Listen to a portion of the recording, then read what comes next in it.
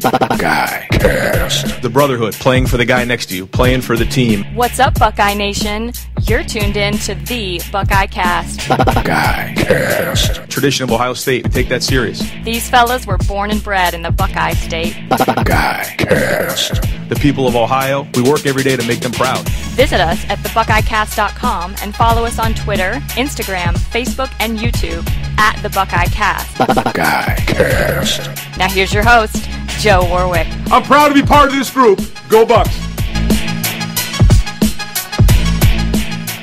Hey, everybody in Buckeye Nation.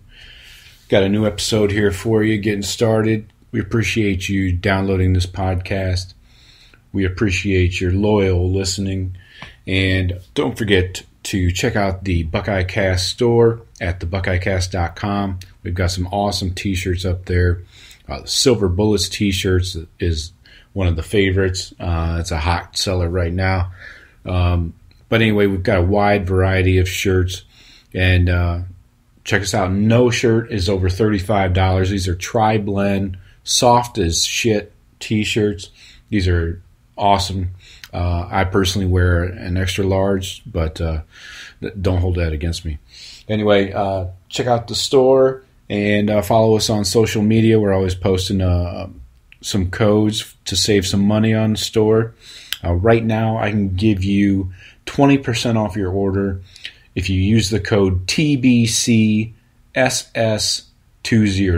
TBCSS20. Use that code, save 20% on your next order. So you're going to hear me and Sean just kind of uh, start right into the show and without any real introductions, but uh, enjoy and we'll talk to you soon. The uh, trap games on the schedule, I, there's a couple for me. Fuck, after losing to Purdue and Iowa, Yeah, they're all potential traps. that's true. FAU, week one, trap. it, it, it- that is a trap game. Yep. Yep. Lane Kiffin's putting all his eggs in that basket. I guarantee it, that little prick. He's got Francois starting a If quarterback. he does it, if if if Florida Atlantic were to beat Ohio State, that would be the biggest win in their career. It'd be what puts Lane Kiffin finally on the map. Yeah. Was he on the map before? Was he ever on the map? I don't know with the, with the, with those short gigs at USC and Tennessee. Yeah. I mean, he, he never sat still He- he enough to be wa- on a map. You know? And then he was off the map. And but if he can do something like this for FAU, he, I feel like he could salvage his career.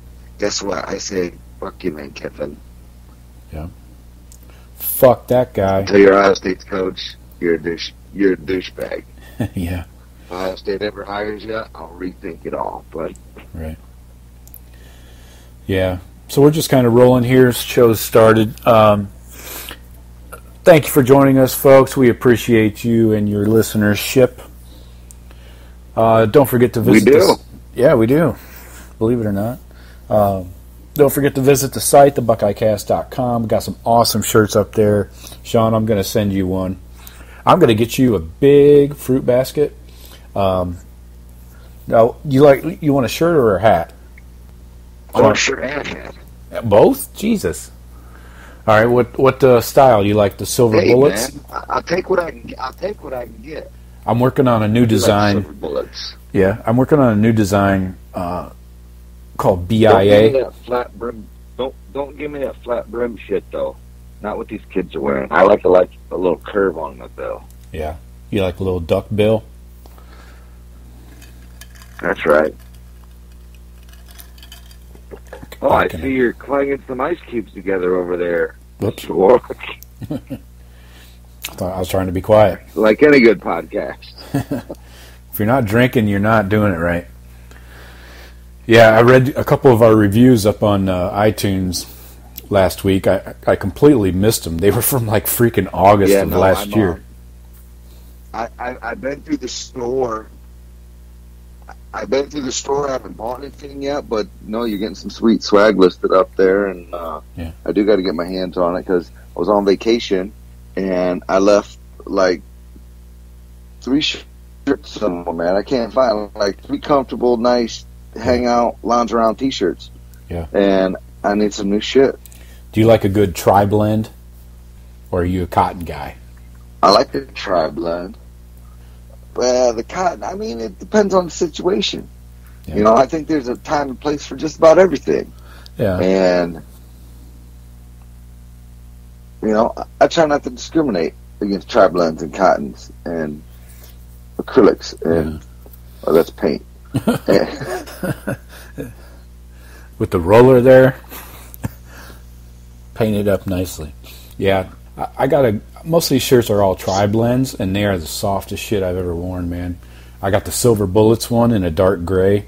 Shit, the logo pops off there. Looks really good. But anyway, folks, uh, check check out the site. There is nothing. No shirts are over thirty five dollars. That's our ceiling. We're never going to raise prices. That is our ceiling. I'm making very little off of these shirts. I just want to spread the love to Buckeye Nation and hopefully turn a small profit. but anyway, uh, thank you for joining us again. Um, follow us on all social media. And uh, we're just going to kind of free ball it tonight. It's a Friday night free ball Ooh, and uh, see what happens. We're going to talk about some of the most recent stories in Buckeye football, uh, some recruiting, and just the latest latest topics floating around. Maybe I'll ask Sean if he's okay with Urb uh, coaching at USC. for I'll foreshadow. I'm not. Spoiler alert.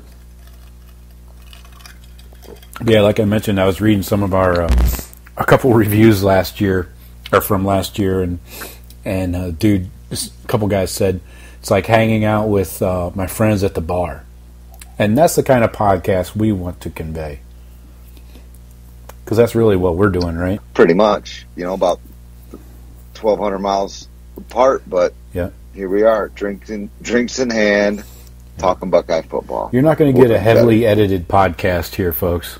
We're, there's very little production value involved in this show. Fuck that. Yeah, you might want to shuffle on down the road yeah, and find another try one. to keep the production costs low. That's right. We got we got uh, low That's right, Or overhead. buy or buy a shit ton of those T-shirts yeah, if you want some production value. But yeah. Start cranking out some shirts. Maybe we'll be all right. I can come up with a new fucking intro song every week, and we can make this a. Uh, more there you go. anyway, we're just going to shoot the shit about some topics. Um, Buckeye recruiting seems to be doing okay. Uh, was there any doubt? No, there was doubt. There was definitely doubt. I mean, Yeah. the finder of talent, and the you know ki- kids wanted to go to him. Mhm. Um, some of that doubt was already Urb had all the you know all the bullshit they tried to throw on Urb early in the season last year and and whatnot w- would have made the the weak recruits leave Buckeye Nation. Um, they stayed. Found out Urb was getting getting out of there. They still stayed, and we we got some. This class of freshmen right now, I do not consider Urban Meyer's class. I consider them Ryan Day's class. So I know he's just coming into his first year, but bullshit. He ran the team. It was this. These kids are coming there for Ryan Day slash Johnson. Um, but Zach Harrison and Garrett Wilson are Zach Harrison and Garrett Wilson are two of the hugest gets, and those to me are Ryan Day gets. Yeah. Those aren't Urban Meyer gets. Um, Ur- Urban Meyer set the table for sure. Mhm. Um, but Ryan Day, I think, came in and, and proved, and, and with Hartline getting in the mix, that hey, man, we're we're young, exciting. I don't know. I, I like the vibe at Ohio State right now. It's just Yeah. it's young, exciting. I feel like people want to be there. Why wouldn't you want to be there? right. Um, you know, I'm looking at these new recruits for the next class, and why wouldn't you want to go play for Brian Hartline and Ryan Day and Coach Johnson? And I mean, Yeah. I, I guess I, it's probably my scarlet-colored glasses. Maybe Clemson and Bama got the same thing with with the coaching staff they have. Um, I only know really of their head coaches. Uh, you know, I know all the Buckeyes coaches that go out there and put in the work and Mhm. man, these guys do a great job. Yeah, definitely. Uh, I would say But I, I, I was I was a little surprised. at the level of recruiting. Yeah, just that it maintained. I, I was Yeah. worried about this year, and then we we got a bunch of offensive guys, and Right. then I'm like, oh shit, man, we ain't got no D. You know, we changed the whole D. I mean, and, and the D is a bit of a crapshoot. But you know what? I think I think the program's so strong. Uh, I, I think the offense is so strong. You're getting high caliber kids that are going, and and you're going to attract some of those high caliber defensive kids as well. And I'm I, I was a little bit concerned on the defensive side of the ball about a month ago, two months ago, maybe. Mhm. Um, those, those concerns have been put to bed for me. Yeah, I would say um, I am surprised at the level of the of the quality of the class thus far. I mean, we're looking at what are we number three right now? Number probably number four. We're going to be number three once they uh, re-rank everybody and and some guys get a bump. So we'll probably jump ahead of LSU. But and how the hell is LSU in the top five recruiting? I don't. Somebody needs to look into that. That's a side note remind me later that fucking guy that was stealing money from the hospital and sending it to uh, LSU uh, football players. We need to talk about that story. Nobody else in the country is talking about it, so we better. We're gonna shed a light on some shit tonight.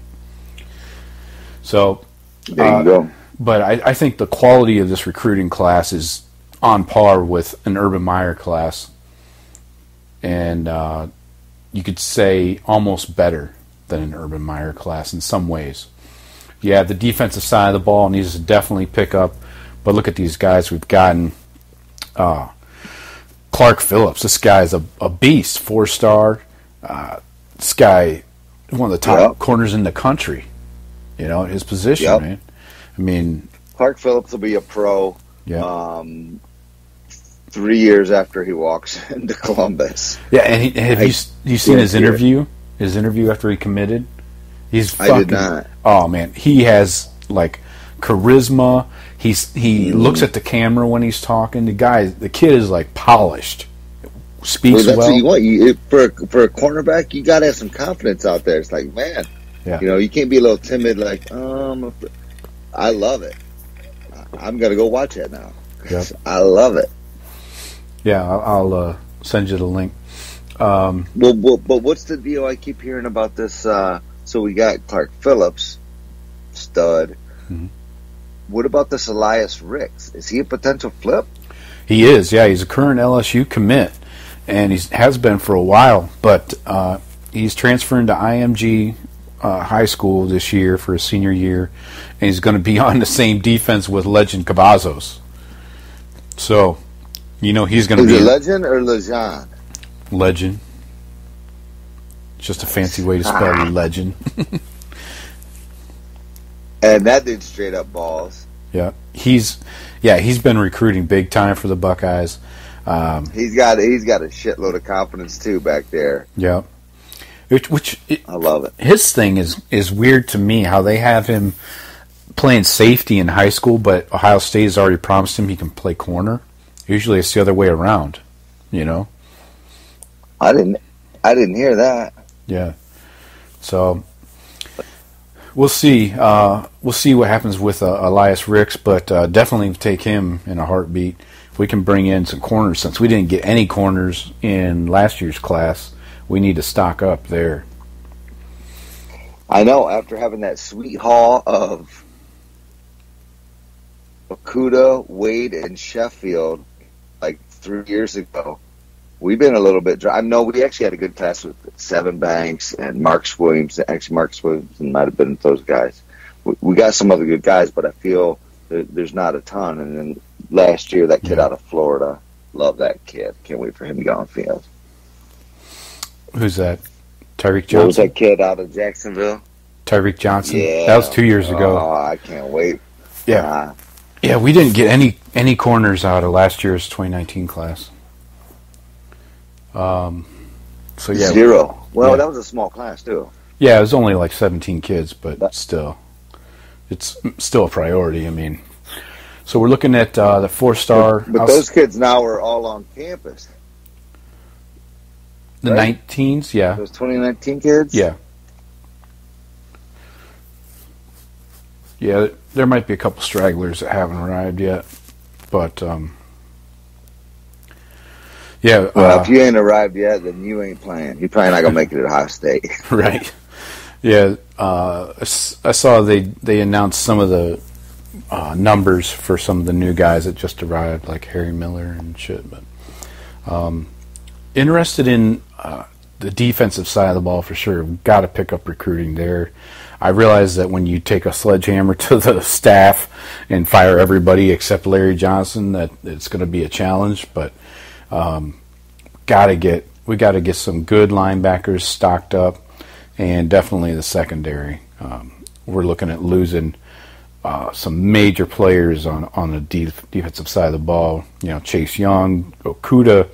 I just heard on uh, that that whole back end. yeah I mean- Arnette, Fuller. I feel we're. I feel right now we're we, we've got some depth. We got some depth up front, and we got some depth in the linebacker room. But that's because not everybody's going to be leaving. Right. Yeah, Young's going to be leaving, and but on the back end, Arnette's gone. Yep. Kuda's probably gone. Yeah. Fuller's definitely gone. Yep. On- Dude, there's an outside chance Shaun Wade's gone. Sure. Shaun Wade was balling out hard last year. Yep. He was the best kid on the back end late in the season. Yep. Maybe maybe Brendon, Brendon White was showing up a little bit, but Shaun Wade had some nice plays. hmm Yeah. By the end of the year in that Michigan game, he fucking was lighting people up, man, locking people down. Um, really happy. So if they're all gone, who? If, if they're all gone, who are our guys? I, who who Yeah. are our starting cornerbacks? Tyreke Johnson. I'm We're going to see. guessing, hoping Sevyn Banks. Williamson will have Right. another year. Right. But isn't that Williamson working in that bullet position now? I don't think he is. No, he's still at corner. Uh, I I uh, I think it was I don't just know. It's confu- that that bullet's confusing me a little bit. it's yeah, it's just Brendon White and Jahsen Wint. Those are the only safeties working in at that. Jahsen Wint. How didn't I bring up his name? Jahsen Wint's a beast. Right. Yeah, he he had some up and down moments when they were trying to decide who the best safety was last year, but um, yeah, they they got to pick up the defensive side of the ball, man. I mean, we're gonna have to see a rotation of corners, you know, to get these young guys up to speed so they're ready next year, you know. Um, so uh, yeah, I think we see Sevyn Banks on the field in some kind of rotation. Uh, I hope we see Tyreke Johnson. I really like him, and we haven't seen Oh. shit from him. Oh, and I and I and I apologize for Amir Riep. Amir Oh Riep. yeah, yeah, Let me see some of that kid. yeah. He might be. I think he's at So safety. right now, right now it's good, but those guys are. Right now, I, I feel like we're really good back there. For the back end, we got tons of dudes, but in a year or two from now, who do we got? We need to fill up. Yeah, that's why we got to see some some young guys in the rotation this year coming up. You know, so that we're ready in 2020. So, yeah, uh, and some of the defensive commits we need. We need this Kourt Williams out of Cali. Uh, he's he's a heavy Buckeye lean, just a matter of time. Uh, he's a stud outside linebacker. What is he? outside linebacker, four star, um, from John, St. John's Bosco. This kid ran a fucking four six four. Well, He's got a thirty nine inch vertical. Jeez. Well, I'd like to see what that Cody Simon that we got this year. Right. I know uh, what he, he's a four star. hmm That dude is a stud. Welcome aboard, Cody Simon. Yep. That that dude's got all the skills. I can't wait. And then we got that uh, we got another kid out of Maryland in this class, outside linebackers. We got a couple. I'm hmm well, yeah, let's keep that train going. And then you still got like Brown. I mean, we still got Browning and Teradja and Yeah. uh, who's that kid out of Toledo? Dallas Gant. Gant. There's- That that room is not. That room's pretty nice. Yeah.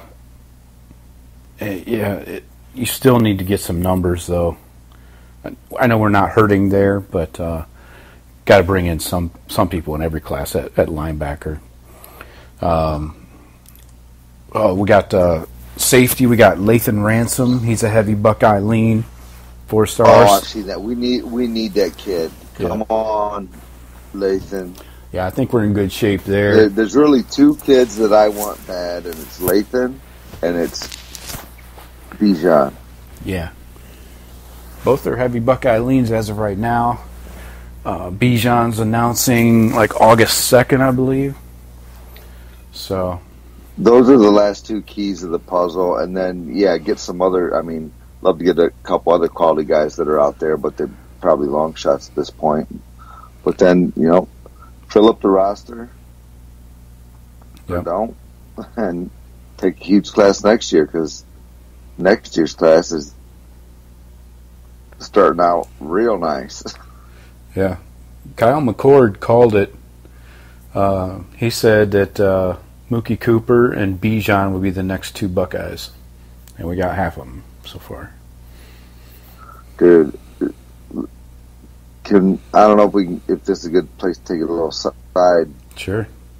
No, but with Julian Fleming, Yeah. Mookie Cooper, Gee Scott Jr., and Jaxon Smith, are you fucking kidding me? You see some of those highlights from the That's opening? ridiculous. My God. I did. I kind of. like, What is with these? These guys are. These. These guys are freaks. Yeah. Yeah. All of them are, And are built to come in right now. Top hundred. Yeah. Yeah. Yeah.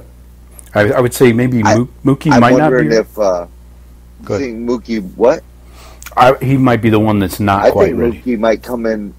Well, I, I think Mookie might, uh, with his size, might go to that H back hmm uh, position. I think that suits him and suits him well. I think it'd be a stud there. What they got him listed on? I'm on uh, two four seven right now. They got him listed at five eight and a half, a buck ninety three. Mhm. Gosh, I'd hate to tackle that frickin' load. Yeah, he's he's our Rondale five Moore. eight and a half. Yeah, he's like Rondale Moore at Purdue. There's no way to get lower than that guy, and and he's got speed, and he's got. I mean, He's built like a Mookie running back. Cooper is a. I, I was reading in there uh, on that opening. They're like because Mookie wasn't on the team with uh, Fleming and them. That the team Mookie was on when he came out, the offense just did nothing. He was like Mhm. the only playmaker on that team. Yeah, that this this wide receiver room is insane. Um, so credit to Ryan Day's Oh offense and to Brian Hartline. Uh, Hartline and Hafley are two of the top recruiters in the country right now, and uh, the top two in the Big Ten for sure. Well, and and part of it's the situation too, right? I mean, so we just lost what three or four receivers to the NFL. Three. Um, after this season, we're going to lose three more hmm to the NFL. I mean, there's there's tons of tons of playing time to be found here. Oh yeah. I feel And- for for young receivers. So it's Hartline, it's Day's offense, and there's maybe not this year, but starting next year, there's a lot of opportunity. I feel a lot. Definitely. Uh, yeah, I, I, it's you. You know you're going to have a rotation, so you're not just looking at three starting receivers. Like uh, they had a rotation of six going at one time last year, so guys are going to see the field, and at least one freshman like uh, Garrett Wilson is going to play. You know. So this is going to be very interesting to see Yeah, he is. to see how these these guys uh, and and there's going to be injuries, you know, and there's going to be uh, probably a player that's not happy with his playing time or his production and transfers out. So you know you can't have too many receivers in this offense. It's going to be very interesting, though. You really can't. I mean, the, the downside of that is I don't see us getting four top 100 guys next year at wide receiver. right. Probably only two or three, Sure. but but not four. That's Yeah. insane. Hats off, Brian Hartline. That's some sick shit. Right. And Ju- uh, that Julian, they're all beasts. Julian Mm-hmm. Fleming is a beast. Gee Scott is a beast. I, I don't know. It's, I'm excited to see it. I am really excited that. I'm, I'm just wondering though. It's so early in the process. We've seen this before. Does does someone decommit at some point? Yeah. Well, you know, with, with Urban, if, if Urban had four receivers at this point, one of them was going to bail by the time signing day come. yeah. Yeah, that's true. I can't argue with that, but I think the quality of these kids though, these kids are like almost, you know, professional in their mindset and they're good I know they're good quality people. So I don't I don't get the vibe of the that typical diva receiver type. These kids seem like they want to work.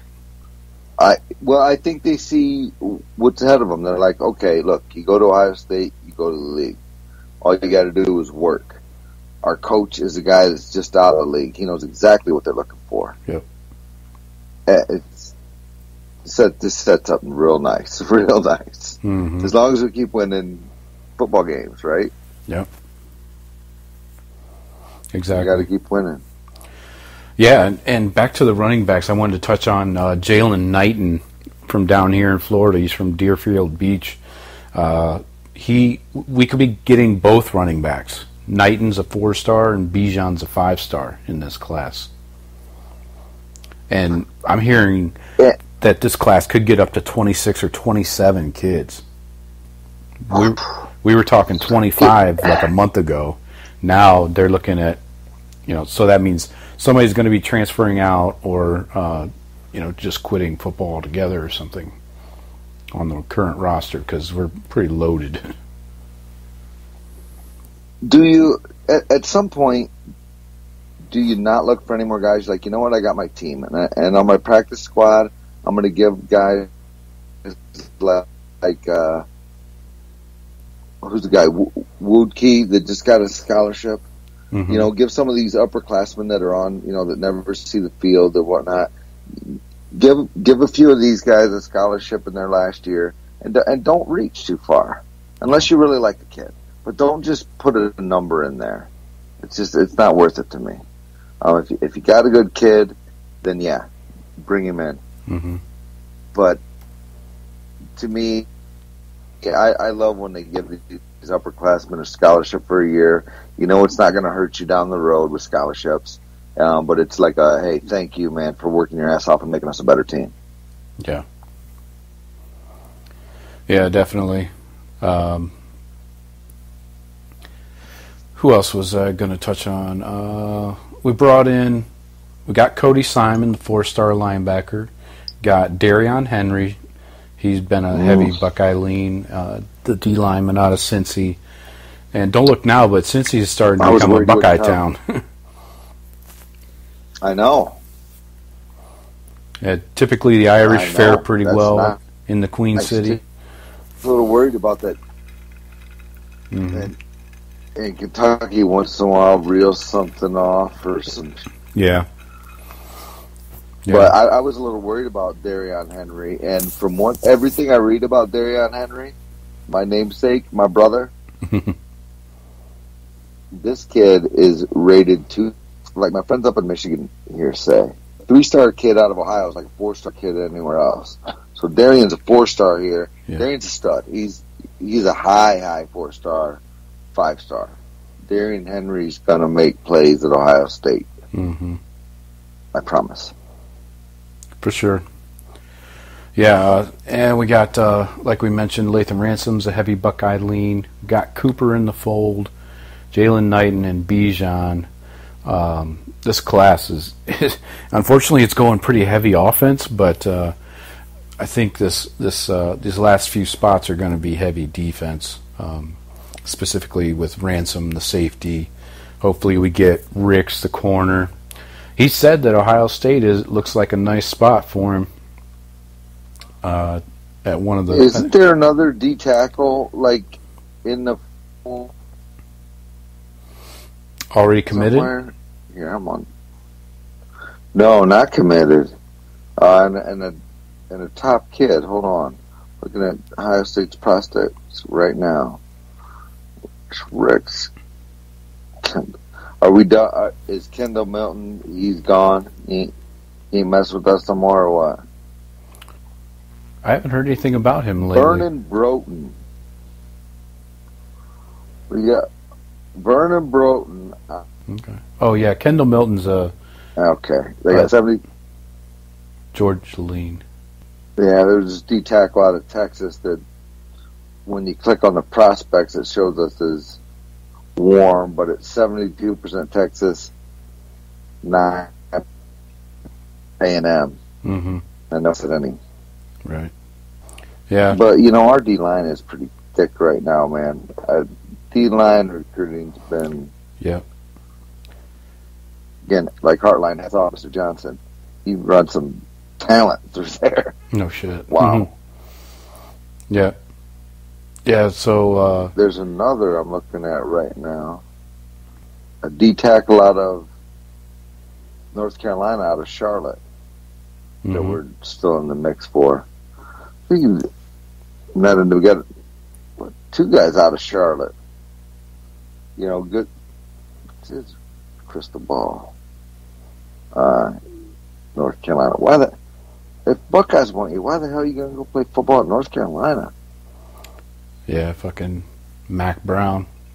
It do- it don't make sense. So yeah, uh, got to finish up strong on the defensive side of the ball with this class. We'll see how things finish up. Other than Bijan and Jaylan Knighton, uh, I think we go. We should go defense. Um, geez, I forgot Fleming ran a four four five at the at the opening, laser timed. Yeah, and he's six two two, and he's six two two hundred. Right? Is that any good? Jeez, oh, he still has to play his senior year of football. you imagine Yeah. trying to cover these kids? Fuck. No thanks. And let's not forget my Paris Johnson Jr. Oh, ah. Yeah. I can't wait to see this guy. Number one tackle in the country. Back to back years, number one tackle in the country for Ohio State, and yeah, we got some boys there. Yep. And that Luke Wypler, Mm-hmm. I think we might have went back to back, or maybe we skipped a year. Number one center in the country. Yeah. Yep. Looking good. Um, anything else we need to cover on the recruiting front? on this class, I, I was happy to see uh, Cameron Martinez, athlete out of uh, Muskegon, Michigan. I think he might be rated Yeah. a little bit low, um, just because he played in in Michigan. I think this kid's a baller, and anytime that you're stealing kids like him Mhm. and the guy below him, uh, Greg Toutant out of De La Salle, which is a powerhouse up here, you know, mm-hmm. I love. I mean, these are if these kids don't go here, they're going to Michigan or Michigan State. So welcome aboard, boys. Yeah, Yeah, we brought They're- in. We did. four or five stars to me for sure. Yeah. Look at this fucking receiver room, dude. Let me read these names off to you. In 2021, the receiver room could look like this Chris Olave, Jalen Harris, Elijah Gardner, Jalen Gill, Cam Babb, Garrett Wilson, Jameson Williams. A lot of people forget forget about Jameson Williams. Keep that name in mind. And Julian oh, Fleming, know. Gee Scott, Jaxon Smith-Njigba, and Jayden Ballard. Don't forget he's the 2021 commit we got out of Massillon. That's a fucking loaded ass room, dude. Yeah, I mean, you're talking about the best of the best. I mean, this. You know what though? Olave came in and showed out. Olave was one of our lower ranked recruits. Yeah. That was a Ryan Day Yeah. special. He picked him out. Ryan Day did. Yeah, yeah. He he was out there watching uh, their quarterback. At uh, who the hell is their quarterback? Like San Diego area. Yeah. Uh, so anyway, and he he saw Olave, and uh, it's like you know, recognize he's small. He's small, but he's fast. Yeah, he's got good hands. So yeah, we're losing KJ and uh, CJ Saunders, Austin Mack, Ben Victor. We could, Yeah, I mean, I, I think that Jalen Gill that you railed off, I think he'll be more of the. Well, I don't know. I curious to see what this offense is like. I guess it'll be a lot like last year. Mm-hmm. Less.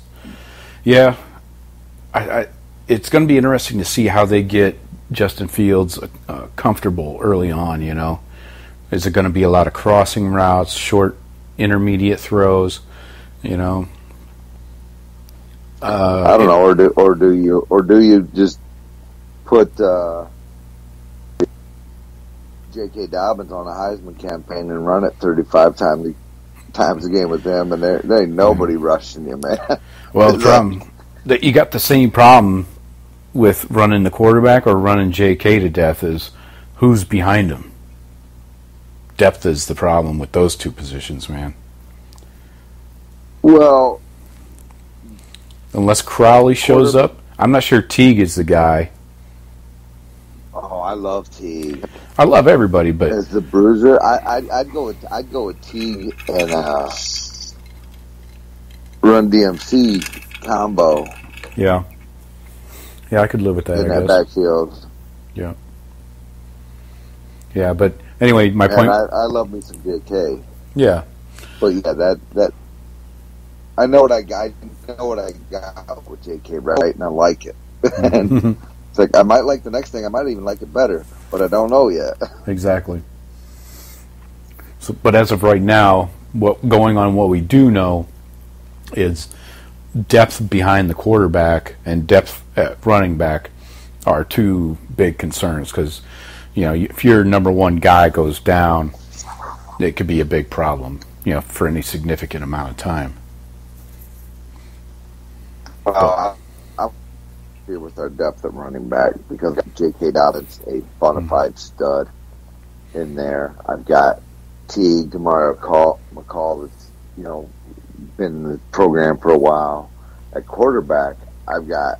I mean, depth. I don't even. I don't even have a starter that's really played much. hmm I mean,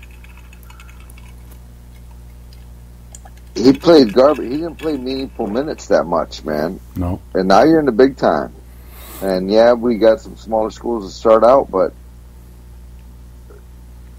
I, I think our schedule is going to be good for Justin Fields.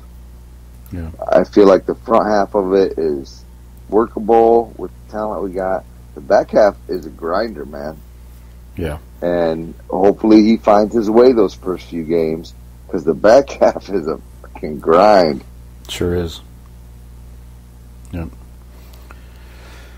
Yeah, Gunnar and Chugs haven't had much experience. They've they've been in systems, you know, and but they've never been the man.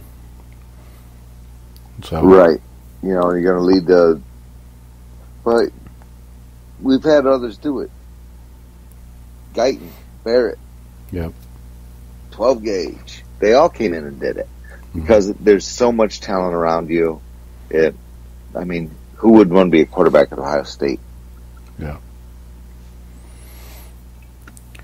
So yeah, um, how about uh, you? You got to answer me this. How? I, I know you're you're Shawn lives in Detroit, folks, and you got to explain how Michigan is getting all this national hype. It seems to me this is my point of view, and obviously I'm using my Buckeye binoculars, but from my point of view, it looks like when everybody says somebody, some team is gonna uh, is in line for the national championship and gonna win the conference and all that. That's just setting them up to fail. That's like the the announcer jinx, right? So what? Well, why, why is Michigan getting all this love nationally? Well, I'm going to give you. I'm going to give tell you my take, and again, maybe I'm up here listening to too much local sports radio and shit like that. Uh, listen to too many Michigan fans, which I don't talk to many Michigan fans. So, because if we talk about football, they they pretty much shut it down pretty quick. Um, got much to talk about. Sure. I saw their I saw their last running back that got kicked off the team over at my son's baseball training center uh, like a month or two ago. I think I did I snap you a pic of him. Um, I don't even know what he got suspended for. But anyway, here's the here's the real deal on Michigan. If if you look at those names across the O line, they're mostly juniors and seniors, and you, and if you've been following recruiting, you know all their names. They were all they were all real good kids. Um, so you've got a veteran offensive line. You've got some really good older receivers right now. Uh, Michigan's got what that Donovan Peoples, who out, you know, always kind of had a giant heart on for and was hoping to be a Buckeye. Yeah. You got Nico Collins and Tarik Black. That is, um, I mean, look, we can hate these assholes, but those are three talented kids. Um, so they got the O line, they got these wide receivers. Shea Patterson, you know, he's got all the hype in the world, but even looking at their games last year, um, he, I don't feel he throws a great ball. I feel like he's got really good receivers, Mhm. but half the time they'd be open and have to like dive for a ball and their knees would be down and Oh. stuff. It's like if he if he could have hit him in stride, I don't think he's that accurate. I think he's No. a little bit overhyped in that category. Um, but uh, the talent's there, right? I mean, coming out, this kid was a freaking stud. Um, we'll see if if Shea Patterson is good and their supposed new offensive coordinator that's going to spread them out, like super spread guy and whatever. We'll see.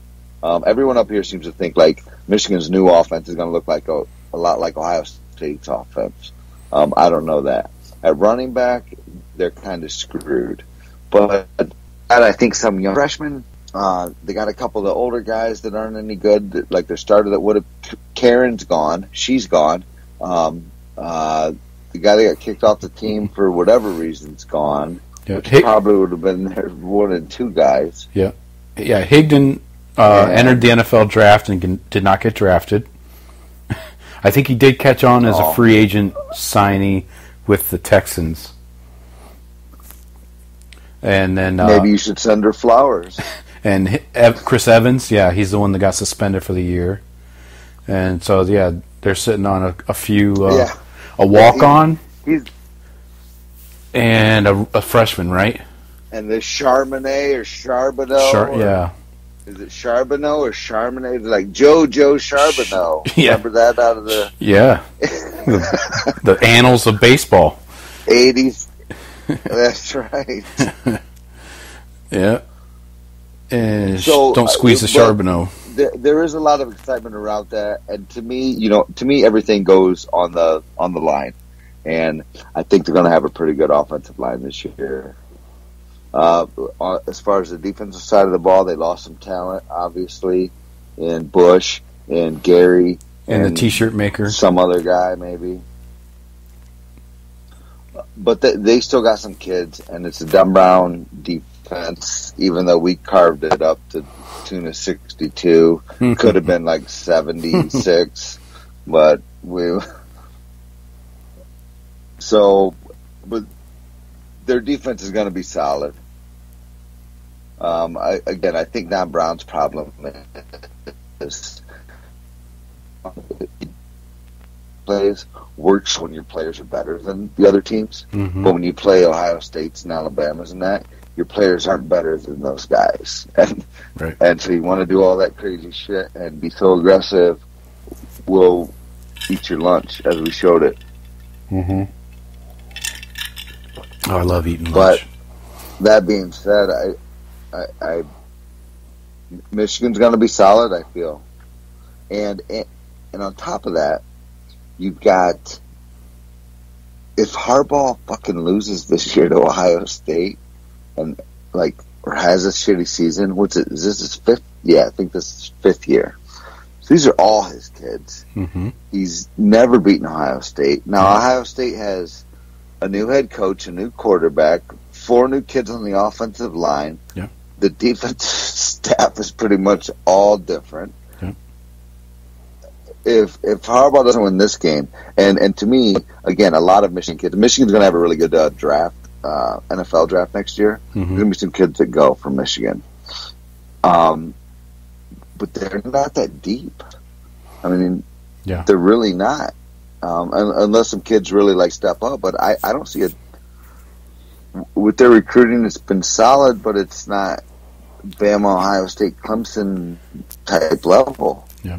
I mean, e- even though they're ranked pretty high, it's because they always have a shitload of commits. You look at the average ranking, and it's it's Exactly. not that great. Exactly. That, that was the point I was going to make. Yeah. Um, like their 2019 class is an average rating of uh, 90.78, 9078, which is not that great. I mean, we, we crushed that. I got one stat that I will throw at you, and I think this is the mic drop. 24 7's top 100 players over the last four recru- recruiting classes. Ohio State had 33, Michigan 7.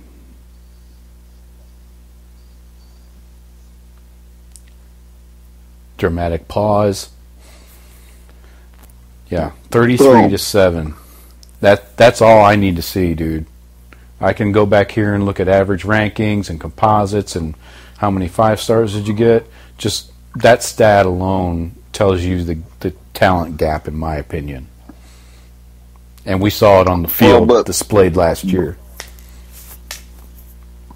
Oh, we did. I mean, uh, Buckeye speed is for real. Um, here's the thing, though. On the flip side, let me switch to the other Michigan team, Michigan State Spartans.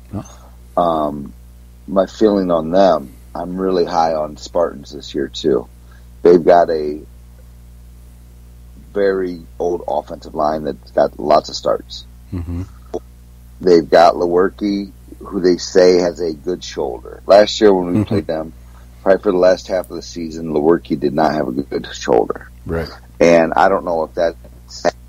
well, I, I'll lay that partly on D'Antonio. Say, hey, you know, the fucking kid can't throw the ball, man. Get him out of there. And Right. it was noticeable to me that the, the kid had no zip on the ball for Mhm. like a lot of games Right.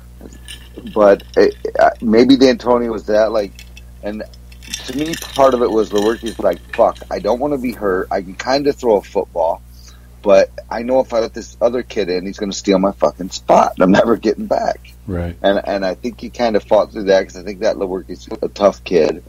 Um, they gave that Lombardi, that long haired, you know, reminds you of the guy and Remember the Titans. Uh, Sunshine. His long blonde hair. Sunshine. Yeah, Sunshine. That that's They Trevor Lawrence. That's our- turns, Yeah, that turns nick- out turns out Sunshine sucks. Yeah, yeah, he did. Uh, yeah, I- and and Michigan State has some receivers too. So pretty much the same as Michigan. They got a good O line coming back.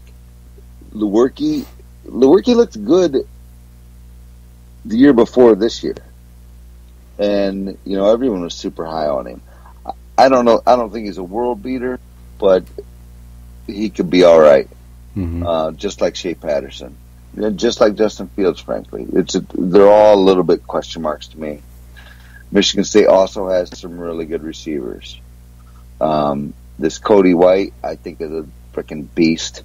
Um, and they got the same problem. They don't have a running back either. Same problem as Michigan. It's like, Mhm. who's your running back? I, I, I don't Yeah. I don't think they have a difference maker back there, but I think they probably have a good enough O line to you know make a guy have some pretty good numbers and blast blast through, especially lesser talent. I heard that uh, So- they're running a new offense up there. I heard they're going to more of a spread system. Well, I mean, the the, the big knock on Michigan State up here is that D'Antonio had like the fucking worst offense. I mean, did Yeah, do you watch any Michigan State games? It's hard to watch them. yeah. When they They're played Ohio State, disgusting. that was it. Oh, I watched a few others. In their bowl game, they lost like nine to six. I mean, they had scored a touch. So the Michigan State offense is was so disgusting to watch. It just was. And their defense was still ranked absurdly high. And I I got to take my hat off a little bit to them for that. When your offense is that terrible and your defense isn't giving up any yards and it's just it's a total every Michigan State game is a fucking punt fest, man. It's nobody goes anywhere. You get 7 yards per possession and fucking punt. They Michigan State was 125th out of 129 uh, Division One teams last year in scoring offense at 18.7 per game. And then go look at their defense. Yeah, with that offense, then you, you would think their defense would be like, damn, they're on the field all the time because these guys can't put a drive together. And their defense is total studs. And I think it's D'Antonio's system. Um, cause they, they got a couple really good guys and actually a guy I work with. He had his daughter out at a restaurant the other night and was it Willekes and Bachie were Mhm. there and took a picture with his daughter and he's like those guys were just so nice and so I don't know. They he told me those are really good dudes. His daughter was beaming over it. I think Michigan State will have a defense, but I also think this is Michigan State's they've got a really old team right now. And this is kind of circling back to my point is these teams like Michigan State, they can compete with you every three or four years when they get an older class that can ball out. Mhm. Um, but they can't compete on a year to year basis. Um, if Michigan, their recruiting's kind of been really shot two years. If they don't win 10 games this year and get their recruiting back up like it was three, four years ago, it's going to be Sparty being Sparty, middle of the road team for a long time. yeah. Also, I think Michigan has the potential to do that. So, to me, the pressure on Michigan this year is immense. It is immense. It, look, I will accept first year new coach, new quarterback, new four, four new offensive linemen. I expect big things, but if we went nine and three, I can accept it. Can Mi- Michigan can't accept going nine and three this year? They can't. It Well- needs to be eleven and one, Big Ten championship, beat Ohio State type of season for them. Right. Well, let's look at the. Let's go to Vegas. Vegas is the the truth. Um, Michigan State. is the truth. Michigan State over under team wins for the regular season seven and a half. Uh, Michigan, I love that bet over. I would. Yes, I would. I agree. would lay.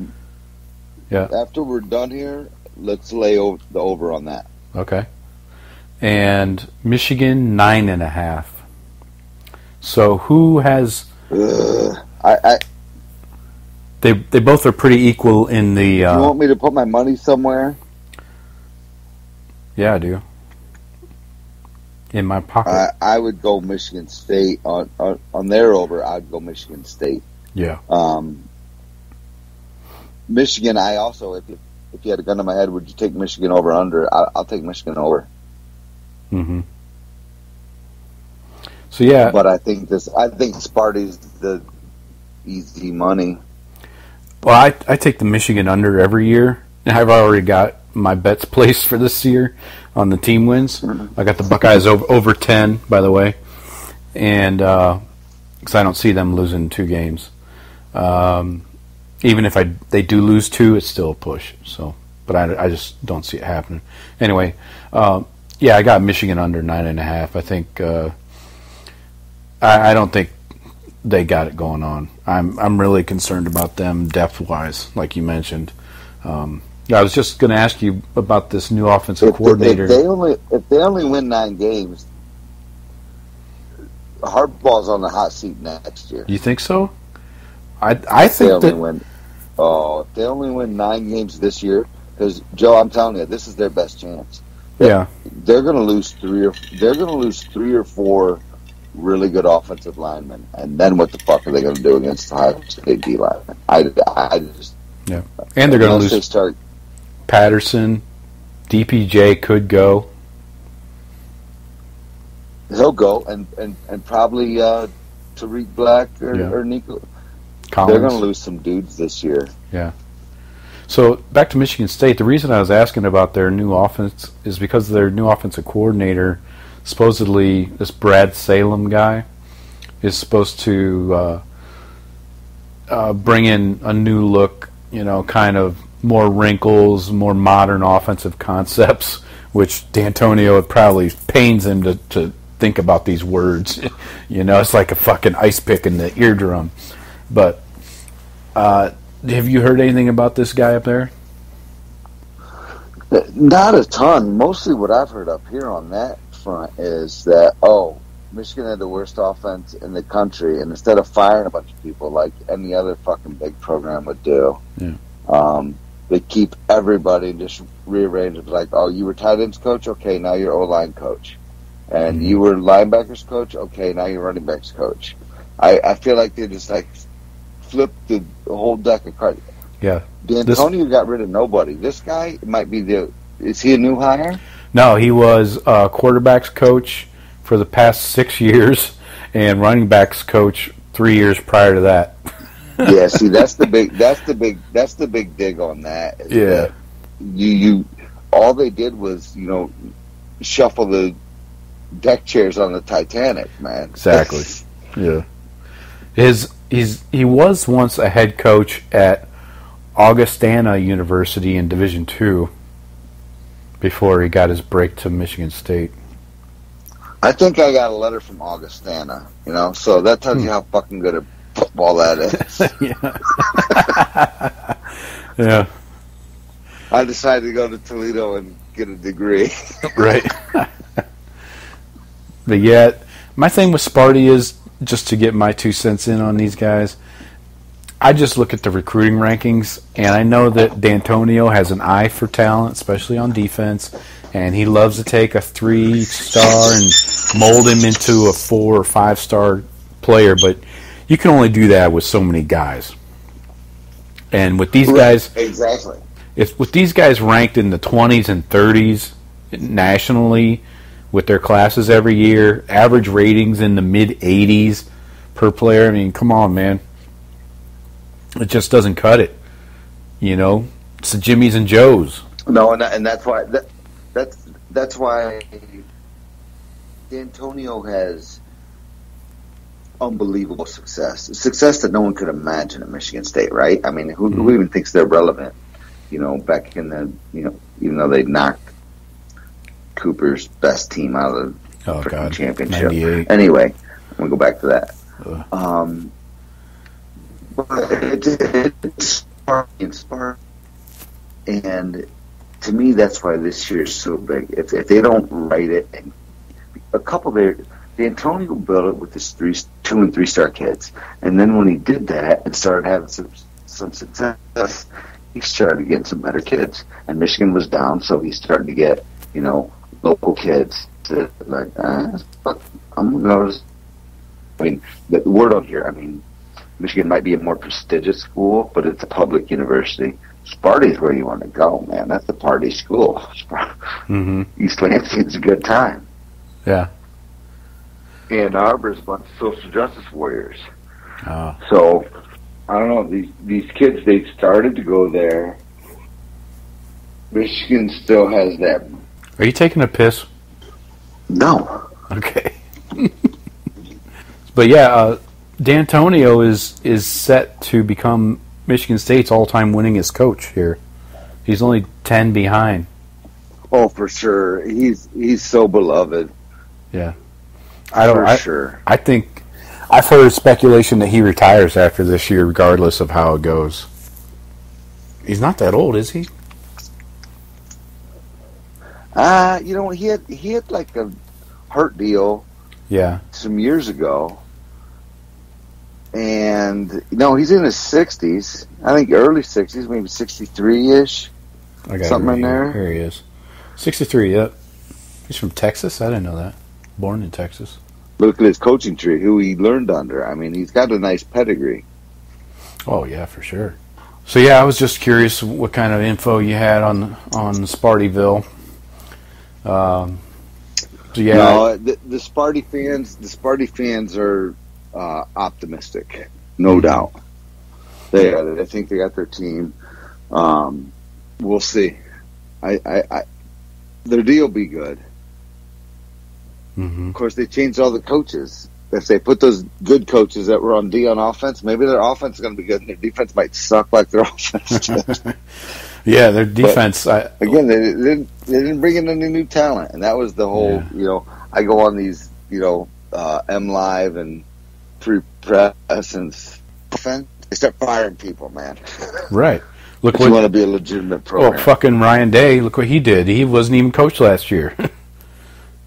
You know, he was offensive coordinator. He came in and Right. took a fucking wrecking ball to the whole staff, and brought in dudes that we lit up.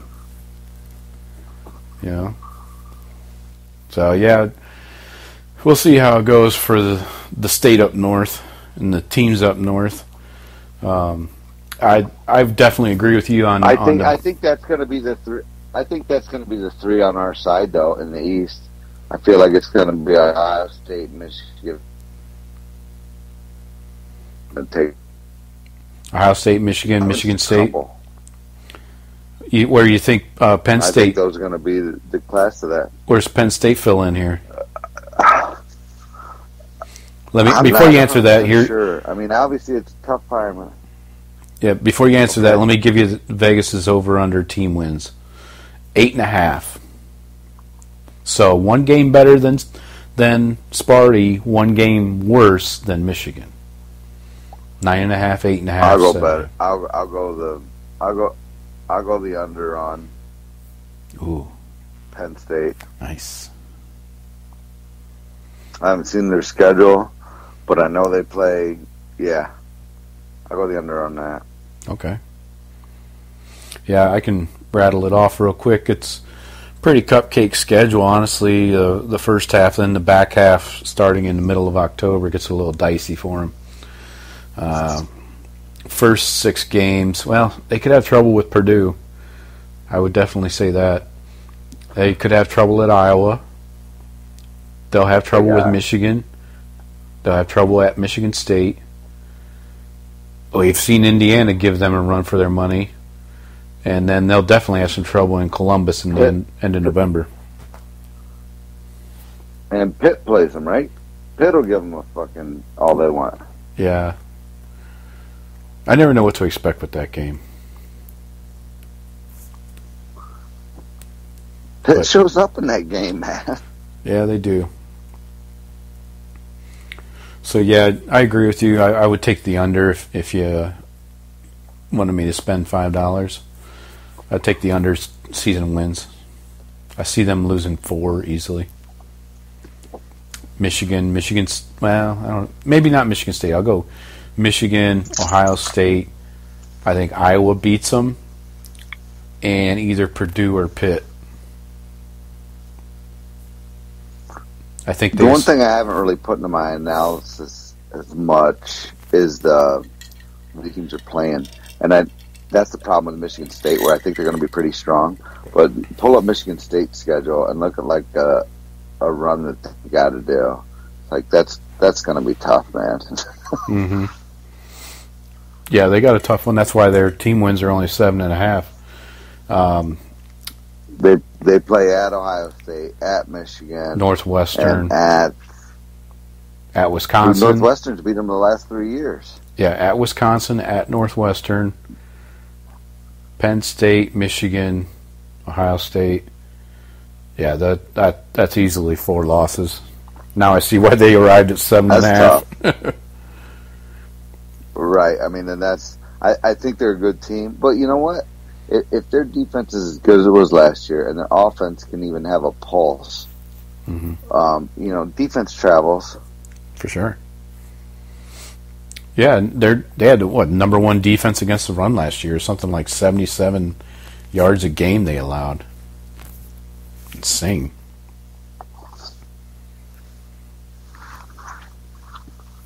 So, I feel like they luck into a lot of like bad weather where no offense happens, but well, yeah, that's their that's their mo. The rain gods are on their side. is their mo.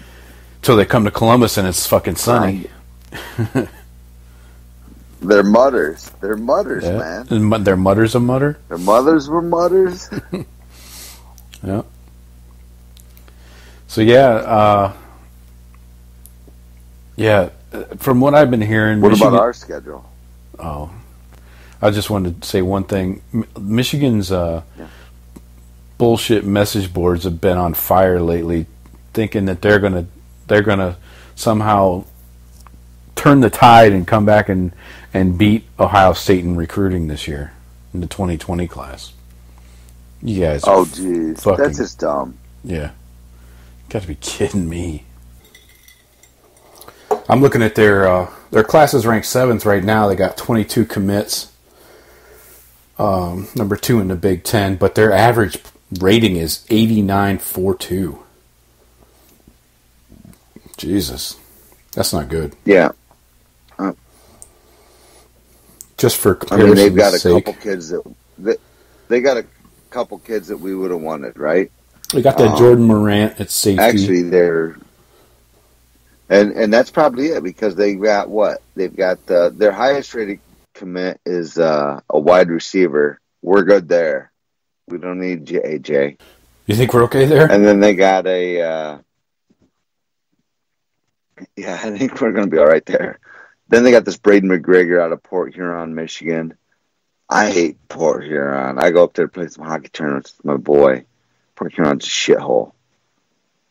So he's probably a tough kid. That kid's probably good. But yeah, that Jordan Morant, I, I would have liked to got him. For sure. Outside of that, I'm, Yeah. I'm good on all these guys. But look at this rating we're at right now. So last year, with only 17 commits, our average rating was a 9187. Okay, that was like, I think that was third or fourth in the country. This year we're at 9188. Almost identical average rating. And like I mentioned, Michigan was an 8942 just the the gap in talent. I know those numbers don't sound. And I think we've taken a couple kids. No, they do. I mean, it, it it's it's the top end of what Ohio State gets, and then we go out, you know, like D'Antonio or these guys do, and we find these three star diamonds. I'm hoping that kid from Norwalk, that kid looks like a beast. yeah, Trey Leroux. Yeah, I hope the trucker shows us something. Be the Yeah. first time. Probably the last. Dude's a beast, though. Oh, He's a monster. Yeah, if if he has the tools, if Stud Coach Stud thinks he has the tools, then fucking sign me up. I'm all for him. I'm going to be a little skeptical because of the quality of talent he's played against. You know, but uh, Yeah, but raw talent's raw talent, and I think that's kind of what you got to look at. Yeah, I agree 100%. I mean, that's why that's the the coach's responsibility is to, you know, decide, you know, after watching this kid's tape, does he have the tools you can work with? Well, and I think no one knows better than Ohio State, right? You know, their their coach like, look, I got a kid down here, man, that's a big dude. That's that can play.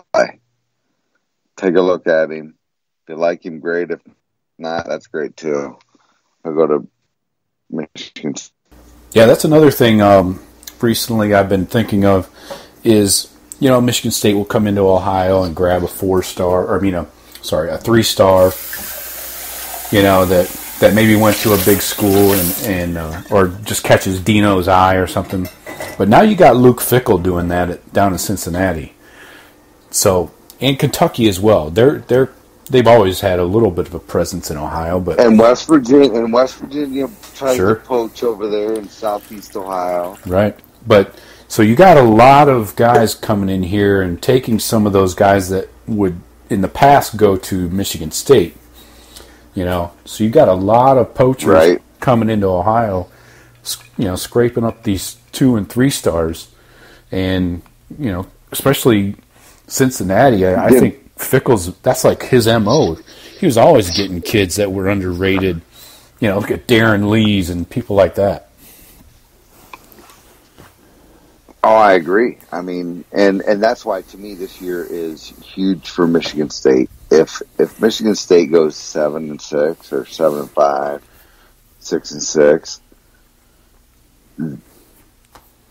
that Ohio well for them is going to dry up. Yep. Relies on the Ohio well, Ohio and Pennsylvania. Yeah. Yeah, Dino's always done really And well in the if- if Columbus area. and if Michigan starts doing better, then they're going to start. You know, the, Michigan, Michigan State right now fight for these in-state recruits. Right. They didn't always, but they did when Michigan went down, and and now it, it seems like Michigan's kind of trajectorying a little more up.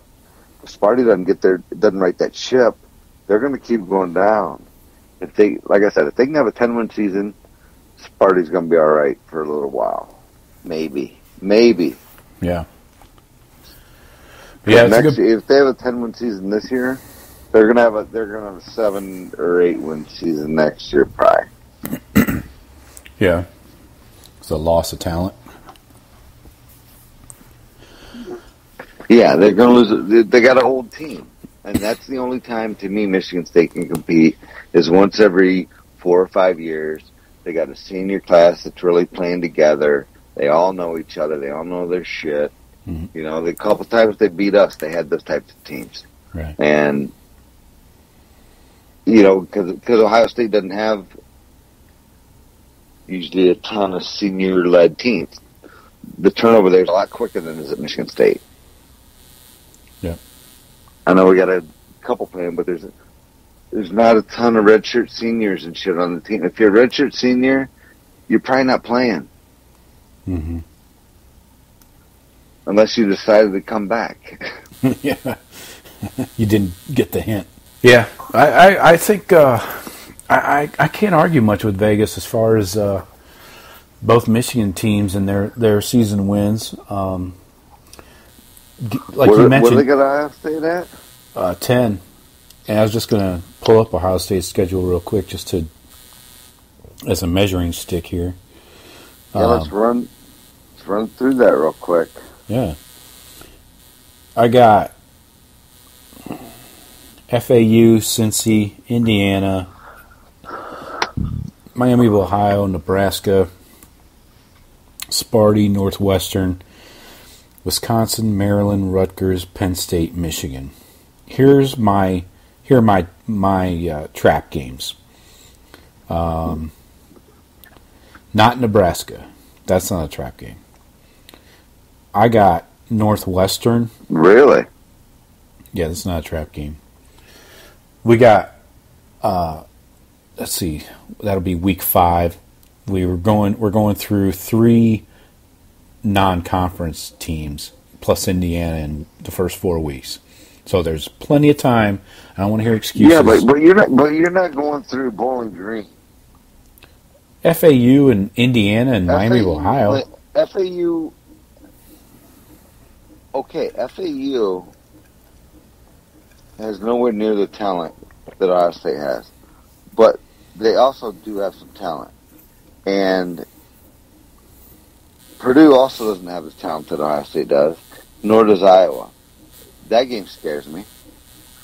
Um, Cincinnati scares me. Cincinnati hasn't beat us in like ever.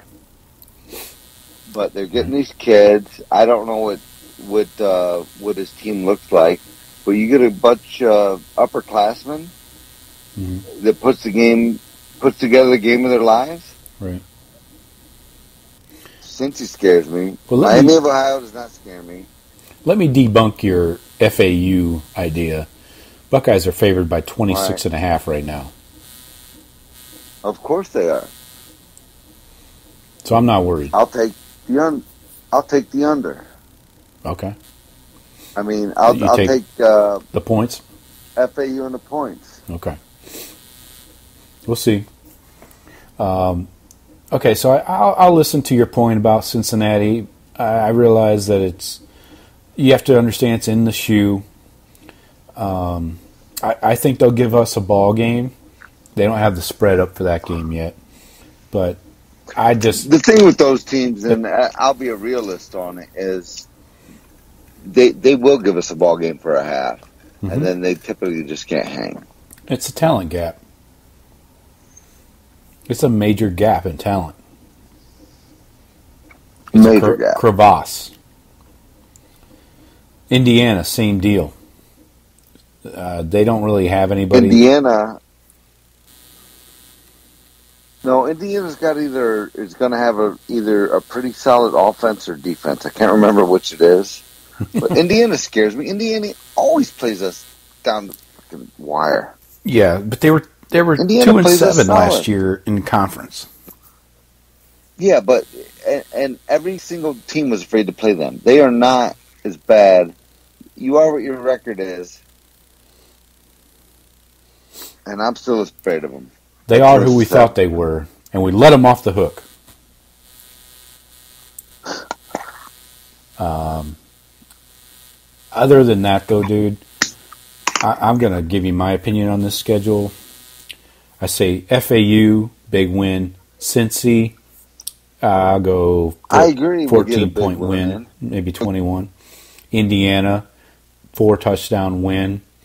Miami, Ohio, five to six touchdown win. At Nebraska, Miami Ohio is our is our Miami of Ohio is our only complete gimme Mhm. outside of Rutgers. Okay. All right, that that makes You can mail it in. You can mail it in, if you're going to mail it in any time, nine day. mhm, Do it against Miami Ohio or Rutgers. Those are guarantees. right. So, right now the spread is six and a half at Nebraska. So, I think we win that one. Dude, I I hate going out that way, man. Right. We've not done well. You get out there to Iowa, Nebraska, Mhm. out there in the plains, you see a bunch of corn, and our boys can't play. Yeah. Couldn't play in Purdue, couldn't play in Nebraska, and I I worry about that. Or Iowa, I worry about that Nebraska game. Mhm. You don't? Wh- Why don't you worry about that? because it's not in They be got a sandwich. decent quarterback. They got Frost. Yep. I know they gave us a ball game. They gave us a ball game in Columbus last year. I get it, but I think this defense is going to have four weeks to get ready. Yeah, I think they're they got that that game circled on the schedule because that's the first true test, in my opinion, that where a, uh, they're playing a tough offense, and it's not. The other reason it's not a trap is because it's not sandwiched in between two tough games. We got. I realize we got Sparty the following week, but I think they got to they're going to go out with a week by week basis, not looking ahead, especially on defense. Um, we'll worry about Sparty. Sparty's coming into Columbus anyways, so it's not like it's back to back road games or something like that. That would be a different story. My trap game is at Northwestern on a fucking Well. Friday night. Well, assuming you, uh, assuming you beat Nebraska, assuming you beat Nebraska and Sparty back to back, Mhm. and then go to Evanston. I'm thinking about going to that game actually. oh, good call. I'm, I'll fly up there and meet you. All right, because uh, yeah, we're we got to look into that. Seriously, Okay. thinking about going to the. That should be an easy ticket to get, honestly. Those Northwestern games are I mean, never sold the- out. Well, well, depending on how good they are. Yeah. The stadium only holds like thirty five thousand though. it's That's like- true, yeah. It's like going to fucking Columbia. stadium's garbage. it is like going to Massillon. yeah. Yeah. All right. So let me let me uh, and then and then you and then you got Wisconsin right after that. I mean, that's a four that's a four game little stretch there. Nebraska, Michigan State, Northwestern, Wisconsin. Yeah. that isn't an easy four game run. I got you here. Buckeyes are favored by 13 and a half versus Michigan State. Wisconsin favored by 9. Uh, they don't have the uh, Northwestern game up yet. So those are the spreads as they have them so far. Um, but the reason I, I had Northwestern as a trap is because A, it's away a night game, a weird day of the week on a Friday, which I got, After two after two tough teams. and sandwiched between. Oh, it's a Friday. Yeah, it's a Friday night game. That's a major issue with me, first of all. Oh. I realize high school football may not be a big deal around the Chicago area, but in Ohio, it's fucking Right. like the lifeblood of most towns.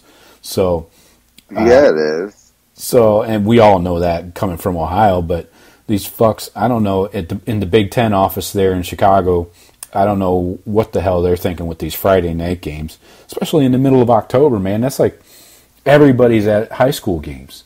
So you're just taking away from those audiences. I think it's bullshit. Especially a quality game like that. Ohio State, That is a dumb move. you know? Putting Ohio State, it's That not like it's fucking MACtion, you know? Two MAC teams, I get it. But Ohio State, Right. you know, a national brand. Dumb, getting me fired up. Um, side yeah, note, that's uh, Side note: Do you remember um, those test tube kamikazes we used to get at the club? You had like uh, Asylum or My Place Rocks with girls Right. who walk around I do. with the test tubes, you know. And I, I've been doing vodka on the rocks with um, squeeze squeeze a little bit of lemon. It tastes just like a those. tube. Yeah, it tastes just like this shit. yeah.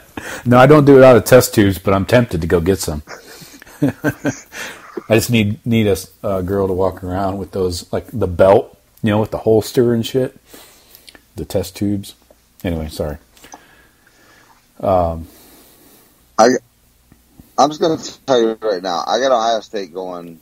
Well, it's a little early to predict, but That's what we do. I, I, I'm unsure. But I, I got Ohio State losing the game, like 11 and one. Mm. And the game I got them losing is in that stretch from Michigan State or from Nebraska To Wisconsin. to Wisconsin. Is is where Ohio State loses a game. Okay. I don't know where, but it's in that. But it's in there. So you don't see a trap game with Penn State coming up before Michigan. No, after Rutgers and then Columbus, we're gonna be ready for Penn State. I think we're gonna start rallying then. I think uh, you know we're gonna go Maryland. It's gonna give us a little bit more problem than we like. I'm gonna be pissed off. We're gonna beat Rutgers like seventy to 0 Mhm. and then, then Penn State's gonna roll into town. We're gonna fucking pants those guys, and and we're gonna be rolling high into Ann Arbor and fucking do like we did last year. All right, here's a little curveball. I'm not sure you noticed this. We got a bye week right between, right in the middle of that tough road. Oh, I didn't. Michigan State and Northwestern. There's a bye in between those two,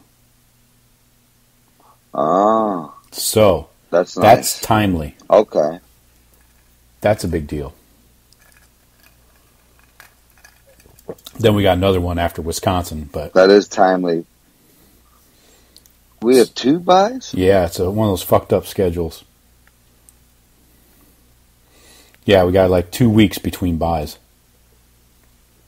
Well, that's perfect. After we beat Wisconsin, yeah, you got Maryland coming up. You can spend like a, a full week preparing for Michigan, Right. and then get into your Maryland game plan. And same with Rutgers I wouldn't be wasting all that two weeks after Um, Wisconsin. on Maryland and Rutgers. fucking Maryland and Rutgers. You don't think they need to, to spend a little extra time in the fucking film room? I mean, I'd, I'd be in that film room watching Penn State Michigan game. Yeah. Like Herb says, if you respect the rivalry, you think about it every day. You you focus on it every day, 365. Did you read about that uh, speech he just gave a couple weeks ago when they handed out the last uh, gold pants? No. uh, Eleven Warriors has the article. Uh, somebody either like video got video of it, and Eleven Warriors uh, transcribed everything that Herb said, and that's basically the article is just uh, talking about um, uh, T-shirts and guarantees coming from up north, and how uh, talking to the players how you kicked that that ass like you should and like it's never been kicked before. it's pretty awesome. Check that out on Eleven Warriors. But I'm done with that. I love that uh, Herb had That's the way you respect a rivalry. This is a quote. these rumors floating around Urban Meyer. Then you outwork them and you kick that ass like it's never been kicked before. Yeah, check that out sometime. You work it every day. You don't shoot your mouth off. So you got the Buckeyes at eleven and one. I got the Buckeyes going uh, twelve and zero, and probably facing Northwestern again in the uh, Big Ten championship game. I don't think Wisconsin gets there. Um, they don't have what it takes to win that division. Um, Ah, they always got hogs, but That's it. Northwestern got that uh, Clemson transfer. Right, the five star Hunter Mm-hmm. or not Hunter. Um, the fuck's that kid's name anyway? Let's. I wanted to check Wisconsin's team wins here on Bet Online. Whiskey, whiskey, whiskey. Shit, they're not listed. All right. Really? Yeah, for some reason they don't have them up.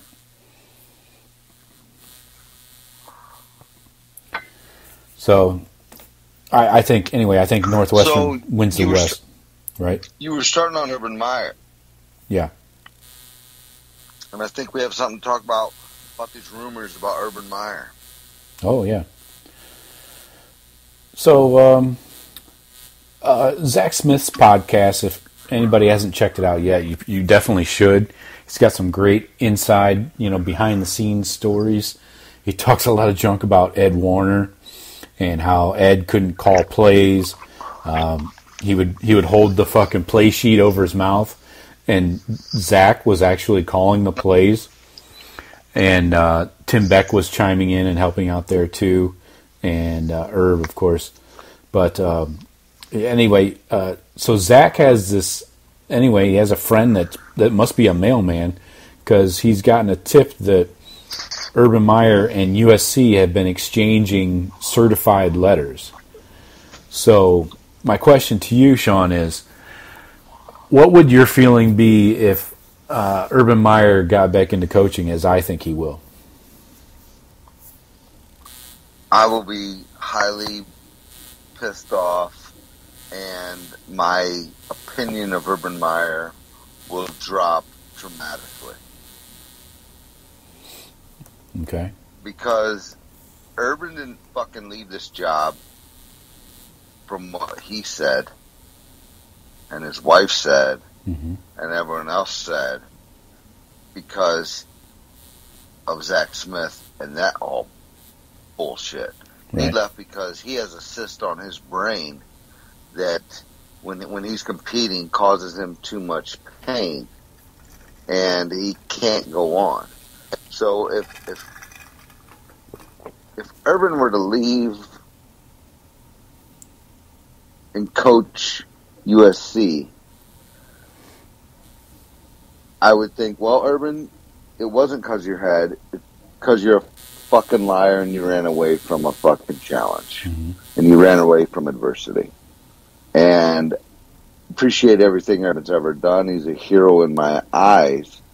And and frankly, I mean, this is just bullshit to speak. I I don't. I've actually got money on it with some coworkers. Urban doesn't coach again.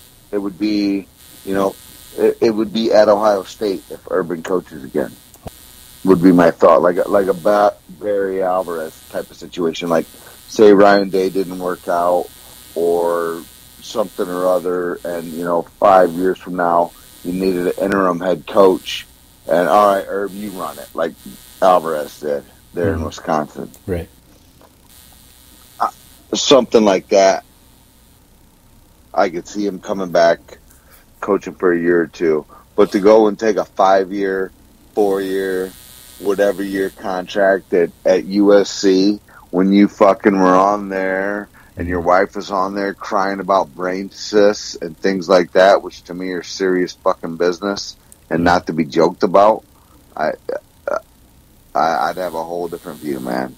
I really would. Well, And and I know the Florida players, the Florida fans might already have that view. I don't. I think Urban has been a complete class act and a super competitive coach. That's record speaks for himself. Uh-huh. On the flip side of that, I do see how if Urban went to USC, he would totally fucking dominate the Pac-10 oh god, and he would yeah. get to the playoff. Um, three, it, if he coached there for five years, I guarantee he'd be in the playoffs. Three of them. oh yeah, And when you're in the playoff, anything can happen. And he he might end up winning the national championship. And then could, could you imagine? He wins the national championship with a Pac-10 team, a Big Ten team, and an SEC team would be pretty sick. So I I get that allure, but if, if Woody, I I think Urban Meyer's honest, and so my take is that the system that is a real thing for him. If that's all bullshit, then I'm really disappointed. Don't feed me that line of bullshit. Just say, l- like I said, I, I wish Urban Meyer would have quit when they were trying to put him through that shit. I'd had no problem with Urban Meyer quitting, and I would have still loved the guy. I'm like, you know what? Fuck you, President. Mhm. Fuck you, AD. I didn't do anything wrong. yeah. That's my take. Yeah, I would definitely make a lot more friends around here if uh, Urb went on and coached somewhere else. But because I could definitely identify identify with Florida fans and uh, their their uh, insistence that he's full of crap. Um, but I agree with you. Uh, brain cysts are not an excuse, and not a uh, not something to take lightly. So I. I would say I wouldn't be surprised if he finds a way to, in a year or so, similar to coming to Ohio State, you know, taking a year off, working at ESPN. He, t- he takes this year off, goes out to Fox, which coincidentally is in LA. You know, uh, he's hanging out with Reggie Bush and Matt Leinart on the set of uh, the Fox Game Day show and I, I think he gets the itch and he finds a doctor that can help manage this brain cyst. You know, the brain cyst is real. I'm I'm not disputing that it's that it's uh, made up, but I think you gotta. I think he finds a way to to build up another you know legendary program. But it would be short. That'll break my heart. That'll break my heart. Yeah. Imagine him and Chip Kelly in the same fucking town. Jeez. That rivalry would take on a way different way different look. I mean, yeah. I mean, Urb really looks up to Chip too. Yeah, they're good friends. Um, but I, I I don't know how he stays out of coaching at he's only 55, just had his birthday yesterday. I don't know how he stays out of coaching.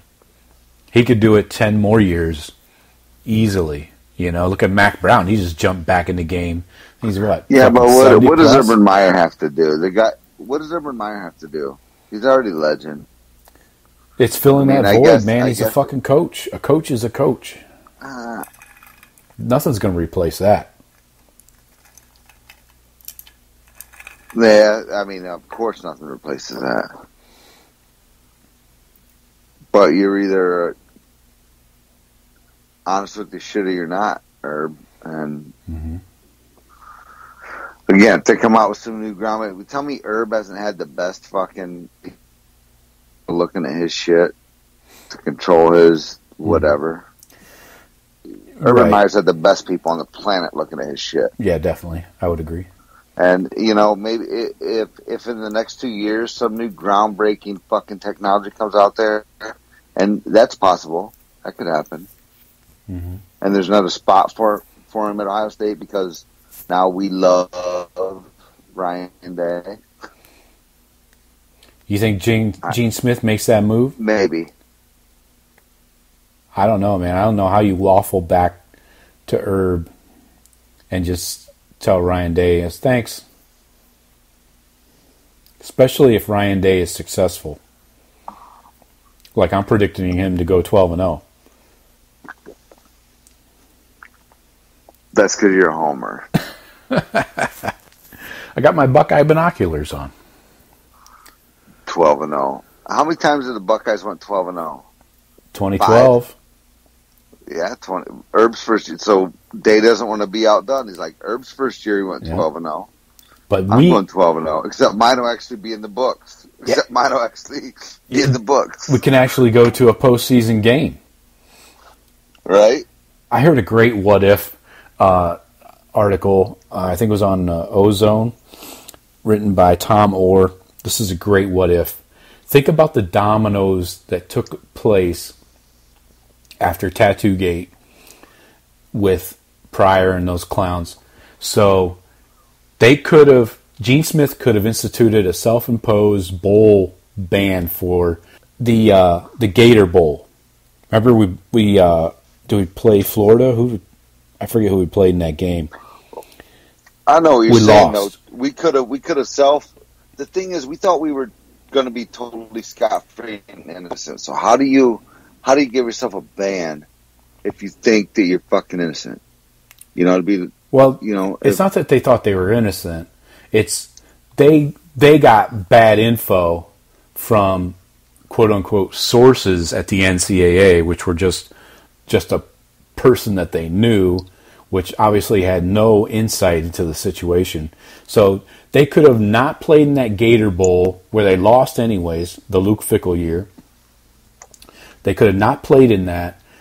That would have been their one year bowl ban, which would have negated the 2012 bowl ban. And we could have taken a 12 and 0 team into that was in the BCS system. Don't forget that.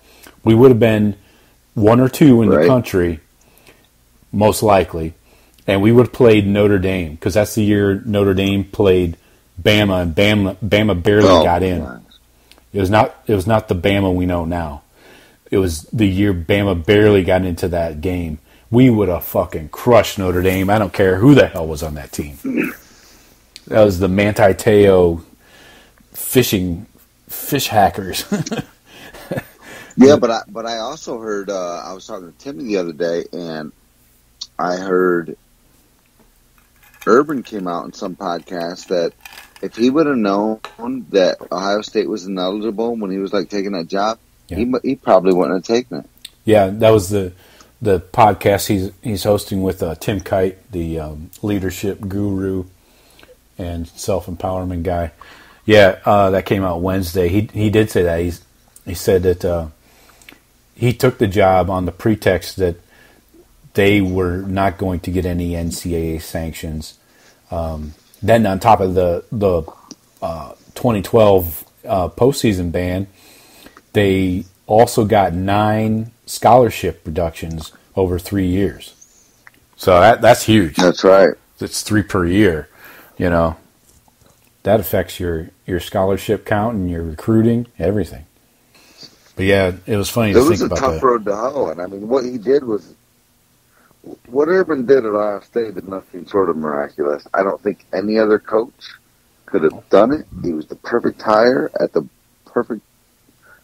Thank you, Urban Meyer. If you go to USC, then fuck you. Yeah, like they say, timing is is uh, one of the most important things, and uh, we got lucky with the timing there, with Urb being available and willing to come back and coach. Yeah, That- that's just it doesn't happen like that, man. We only had one subpar season in that whole stretch in the last twenty years. yeah. That was that was our one percent out. Yep. That was a one outer, and we nailed it. Yeah, Tressel took over in 2001. a two little thousand poker one. reference for you. What's that? Your one That's a little poker reference. A one outer. Okay. We we hit the one outer with Urban Meyer. Yeah, we got lucky with the timing, but yeah, I, I think we may get lucky again here with this Ryan Day hire. I do too, dude. I am so jacked on Ryan Day. I oh my gosh, I've got nothing but good vibes going towards Ryan Day. Can you imagine Ryan Day could make Urban Meyer, Woody Hayes, Yeah. And Tressel like an afterthought. Like Ryan Day is. Like 30, Yeah. can you imagine, what is he, 37, 38? Right. Go like a 30 year run at Ohio State with five, six national championships. Yeah. It's there. Do it. Yeah, I don't see any coach staying at a school for 30 years. That- That's not not going to happen anymore. But I I could see him for 10, 10 plus, and rattling off a few, eh, two to three, and uh, see where it I goes. don't know if, if you're having if you're having crazy success at a, a blue blood program, why not? Mhm. But the, but they don't tolerate, you know, thirty years. Yeah, they're not going to tolerate like a, a four year stretch of bullshit. No, if you think You need to maintain. Yeah, if you think today's expectations are intense, imagine fucking 20 years from now. you have a bad fucking Right. four week stretch. Look out. You know, forget four years. If you have a bad month in the Big Ten, you you might want to start packing up your office. Well, right now, I'm telling you right now, if Jim Harbaugh doesn't win this Big Ten this year, next year the drums will start beating. It might not be that loud, and I'm not saying that if he had a, you know, a, an eight and four season after that, he'd be fired. But I thought Michigan there fans was an article uh, M Live that I read about that. Yeah. I thought Michigan fans were would be satisfied with 10 wins a year. They, they kind of are, frankly, and you know what? Uh, They're they're almost accepting their fate that Sparty's their rival. hmm I I feel like they almost are. Like, man, we can't. To be a rivalry, you got to beat them every now and then. Yeah. But we went through this right with Cooper. Yeah. And that's what this article I read on M Live was about. Um, it was about John Cooper, and I think he was oh four and one before he beat Michigan, Mhm. something like that. Right. But at some point you have to, and then ultimately it was a demise because Cooper had some of the sweetest teams ever, and would never beat Michigan. Fucking kill me. Would he end up nine two nine two and one against Michigan, something like that? No, it was like one nine and one. Maybe 10 2 and one. No, it was, it was like one Oh win. yeah, that's I mean that's I think it was one win and one tie. So yeah, sounds about right. but I I I thought Michigan was. I mean, where else are they going to go for a coach, dude? These people, they need they. I'm sure they realize this. Yeah, that's true. I mean, they're smarter than everybody else. Yeah, there's some truth in that. Yeah, So just ask them. I know. Somebody had a good joke during that baseball, the college baseball playoffs, when it was Michigan versus what Vandy, and uh, somebody said, "Yeah, these these these two fan bases love to tell you where they went to school." so no, well, uh, you'll get a kick out of this. So one of my uh, one of my buddies I know, he's got a kid that's like a junior, and went on a uh, campus visit to Michigan. And his guide, you know how when you go to these campus visits, you get the guide that Sure. walks you around and all that bullshit. And uh, it was during the it was during the baseball, so he gave him a little slack. But he's like, "Yeah, no, we're a baseball school." okay, So, I mean, Sparty always falls back on, hey, we're, you know, basketball school. right, Michigan took it deep this year, but I'm like, you know what? You guys can be good at basketball. I don't care. Michigan State and Michigan can be the two best teams in basketball for the next 20 years. I could care less. Yep. enjoy it. How about football? Exactly.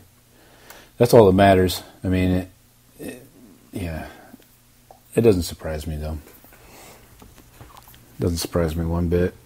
I just I I don't But know. no, I, I, feel like Michigan, Michigan's getting this inferiority complex Mhm. where, all right, Sparty's now their rival. Right. And Sparty's doing it with the 30th ranked recruiting class every year. Michigan's top 10 typically. And they're still not getting it done consistently against Sparty. You know, with the talent gap, you should be crushing Sparty. It shouldn't even be a rivalry. Are they five? What are they five hundred against Sparty under Harbaugh? Is it even that good? I think it's two and two with Harbaugh. Of course, they had that where their guy like was going to punt or kick and it was blocked and then returned for a touchdown in the last seconds. The punt, yeah. They should Michigan should be three and one. But hey, that's the way it goes. That's the, that's Tough fucking shit. rules. Tough fucking shit. And you know they, you got these guys that think that JT Barrett didn't get that first down. Well, I Right. beg to differ. Right. Let's go back the last 10 years. I got it right here. I got uh, 2009 Sparty with an overtime win. 2010 Sparty with the win at Ann Arbor 34 17, not even close. 2011 Sparty with the win at home. Double them up again 28 14. 2012 still pre Harbaugh. Keep that in mind. Pre Harbaugh.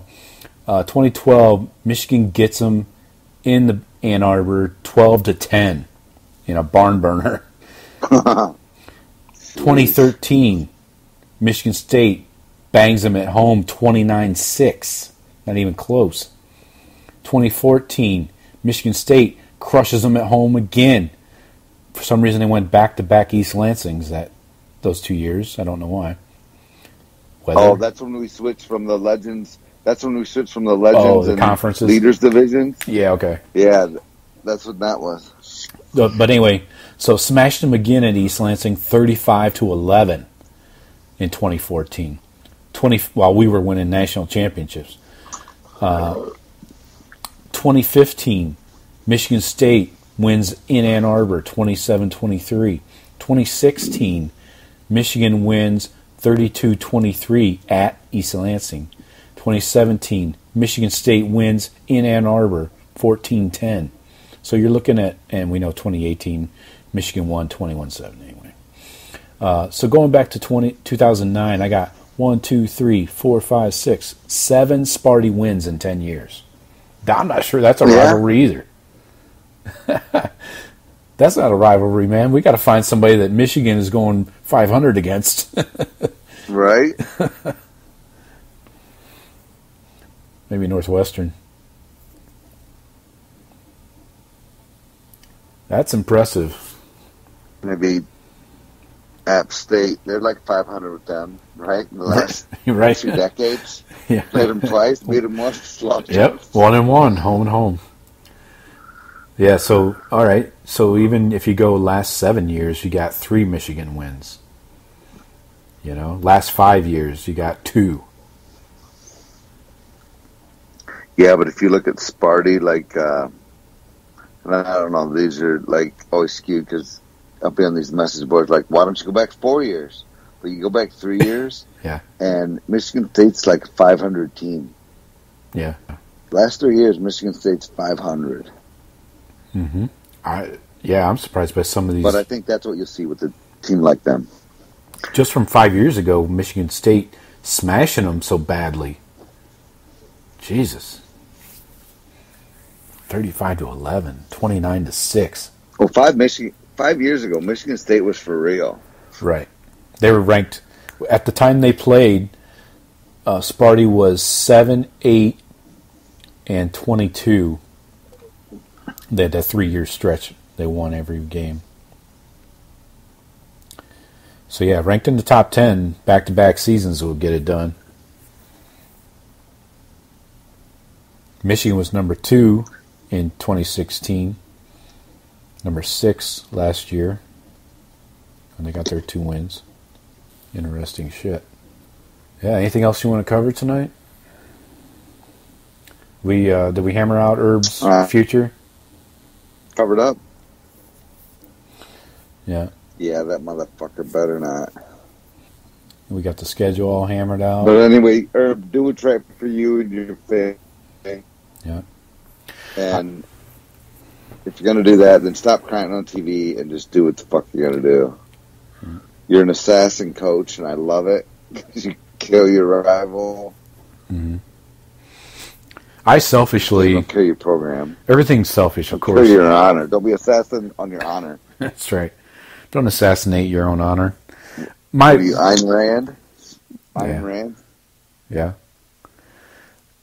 I selfishly don't want him to go, not because I, I care what he does with his life, but I don't want him taking Mick, Pantoni, and Voltolini with him. He, he starts taking those core guys out of the Ohio ah, State program, yeah. we're fucked. There's no replacing those guys. That's a huge loss. Yeah, but you know what? Those guys have been there now for so long. Do you, do you think that they've like anchored to like, hey, you know what, Urb? I'm good here, bro. it's possible, yeah. I mean, It's pretty nice here. Yeah, I mean, Coach Mick has a daughter at Ohio State, I believe. Um, Pantoni's got a younger family, so you may not want to uproot them, you know, and go all the way out to L.A. I do hear that Shelly Meyer likes L.A., so eh, yeah, you could you could be right. I mean, but I don't know how Urb starts a program without any of those guys. That's why he went to Ohio State because he could bring all of his boys with him. You know, they were all unemployed Right. at the time. Was Pantoni? He brought in Pantoni, or like Yeah. that was like a year or two after, wasn't it? Pantoni was a GA at Florida. I mean, I know, I know, Mick's always followed Urb. Mhm. He had Pantoni at Florida. Yeah, he was a GA. I think he worked in the recruiting uh, office. He, I'm pretty sure he came in day one with with Urb. I oh, did I tell you I met uh, um, Coach Mick's high school, or I mean uh, college roommate at West Virginia. This uh, Oh, this guy. oh yeah. This guy is a fucking gem. He had fucking stories. Oh my god. Yeah, so I didn't know that Coach Mick went to West Virginia, but I, I ended up googling it later. Yeah, he did, and uh, uh, they they were roommates and played ball together at, at West Virginia back in the day. Said Coach Mick's a good dude though. That's good. I, Man. I mean, I, I think he's respected as the number one or number two strength coach in the country, right? Oh yeah, for sure. Yeah, you hear about uh, Alabama's strength coach. I forget his name. Uh, Iowa's strength coach is supposedly a legend, and um, there's probably one or two more floating out there. But yeah, yeah, Mick's Mick's the guy. He's always on the cutting edge of Mick everything. is a guy. You know, he gets that team ready every Yeah, year. nutrition, weightlifting, hmm they are. I mean, you see those guys transform. Yeah. Yeah, he's he's the one that's working with the team right now. I I mean, know these five star kids think they're ready. yeah. Yeah, regular coaches can't even see them, right? No, like basically after can see these five star kids come in, and then you can do and after. Like, yeah, Mick makes him a different dude. yeah, those Josh Perry photos are like one of the biggest ones I remember of night and day difference. Yeah, He was soft and then just came out rock, you know, fucking solid and, and bigger. I don't think I ever saw any pictures of uh, uh, Weber. Oh yeah, He was all chubby and out of Right. Detroit when he came in, and I mean, that yeah, He became a rock. yeah. He had that baby fat on him when he came in. Yeah, it took him a year, but yeah, and he increased his speed. He had to be. I can't imagine what his forty time was coming into Ohio State, but he had to shave like multiple tenths tenths of a, a second off of his forty. I'm talking like if he ran a four five or four six, I bet you he was down to four four. I don't know what his numbers were. The Well, combine. look what look what Mick did with Hubbard. Oh, jeez, yeah. Took a fucking lacrosse player, made a? D end out of him. he plays for the Bengals. Yeah, he was a cross player and a safety Yeah. in high school. Fucking yeah. Come over here, son. D end. in- He's a D end in the league. Put your put your hand in the dirt. How's that feel? yeah, that's that's good shit. That's one of those those stories, man. But he always had the frame, right? You see a big kid like that, Yeah. like, yeah, you're 225 in high school, but dude, we're gonna we get to 265, 270, Yeah. no problem. Yeah, we'll see what what happens. So yeah, Coach Mick has been alone with the guys since uh, the end of spring practice. So end of April until this point. Camp open up, op- opens up uh, like end of July. We got Big Ten Media Days coming in next week. Um, We got a good group going there, I think, right? yeah, yeah. Uh, we got KJ. Um, KJ might be my new favorite player this year. I always hated KJ. I love KJ. Oh yeah, great hands. Um, gonna break all of Cris Carter's records. Um, But I just he gets so pissed off. He's like Arnette. When they start asking him some tough questions, he's able to grab a hold of somebody and fucking he's pretty chill.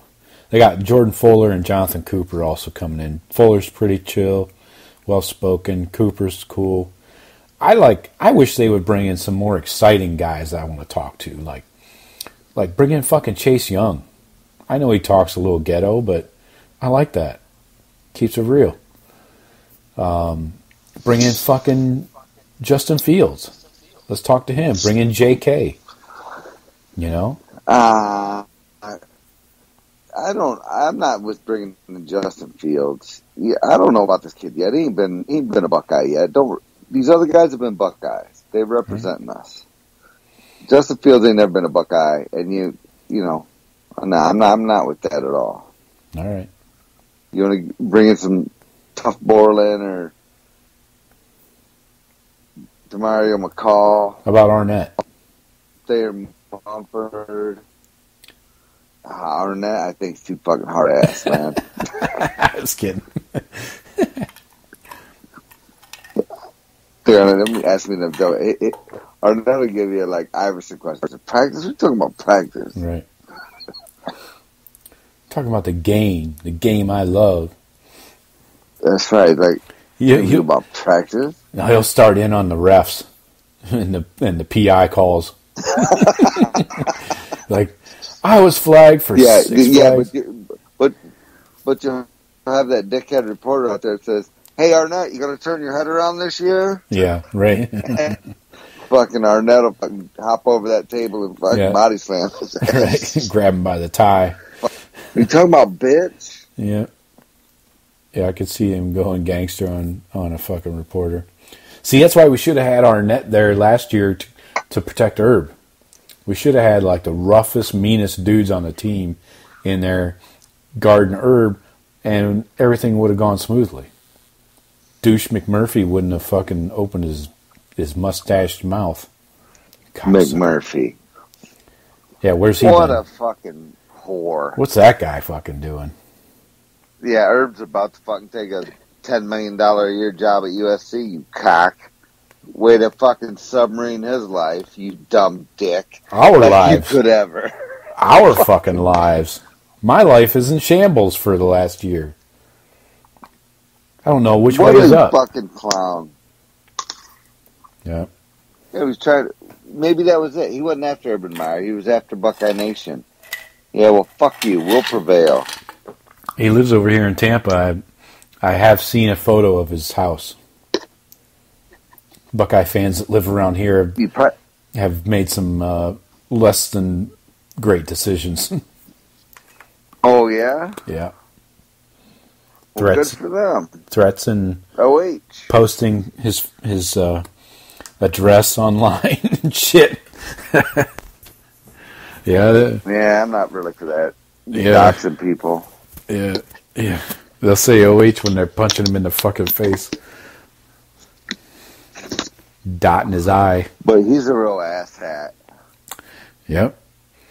So fingers crossed this year, nothing goes haywire at Big Ten Media Days for the Buckeyes.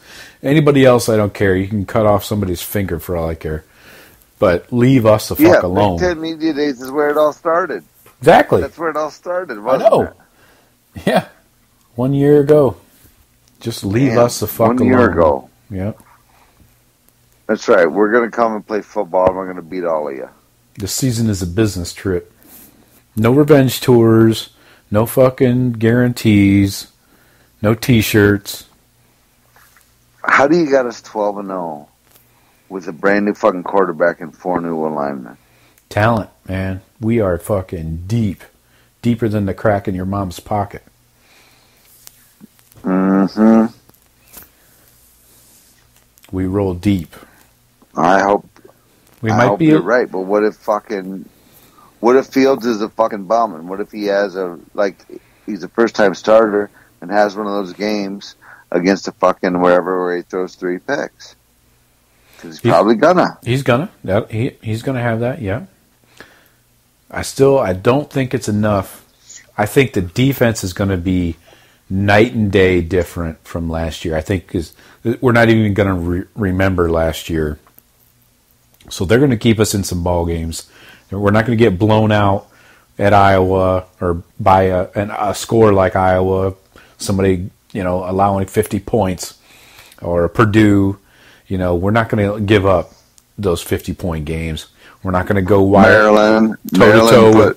Yeah, we're not going to go, you know, an incomplete pass in overtime to lose to Maryland. Um, I, I just think the defense is going to keep us in games.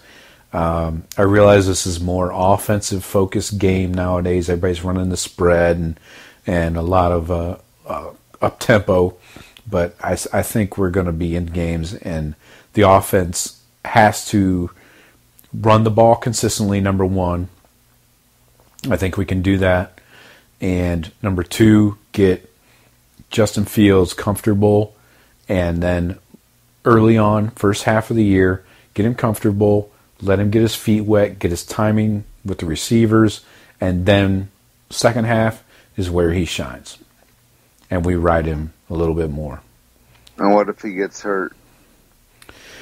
Yeah, then uh, I think Gunnar Hoke comes in, and You think Gunnar Hoke's a backup?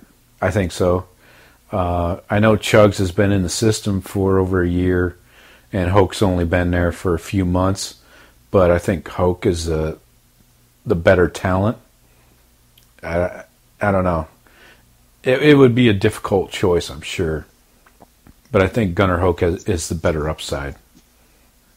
Well, uh, but can they do the same game plan unless? Oh, no. They would they would change. doesn't. I mean, they can't. They can't run like like no one. No one on a roster anymore can Mm-hmm. run like Fields. Sure, exactly. I agree. Uh, so yeah, and that's the thing with, that I like with Ryan Day, and this is Ryan Day versus Urban Meyer, in my opinion.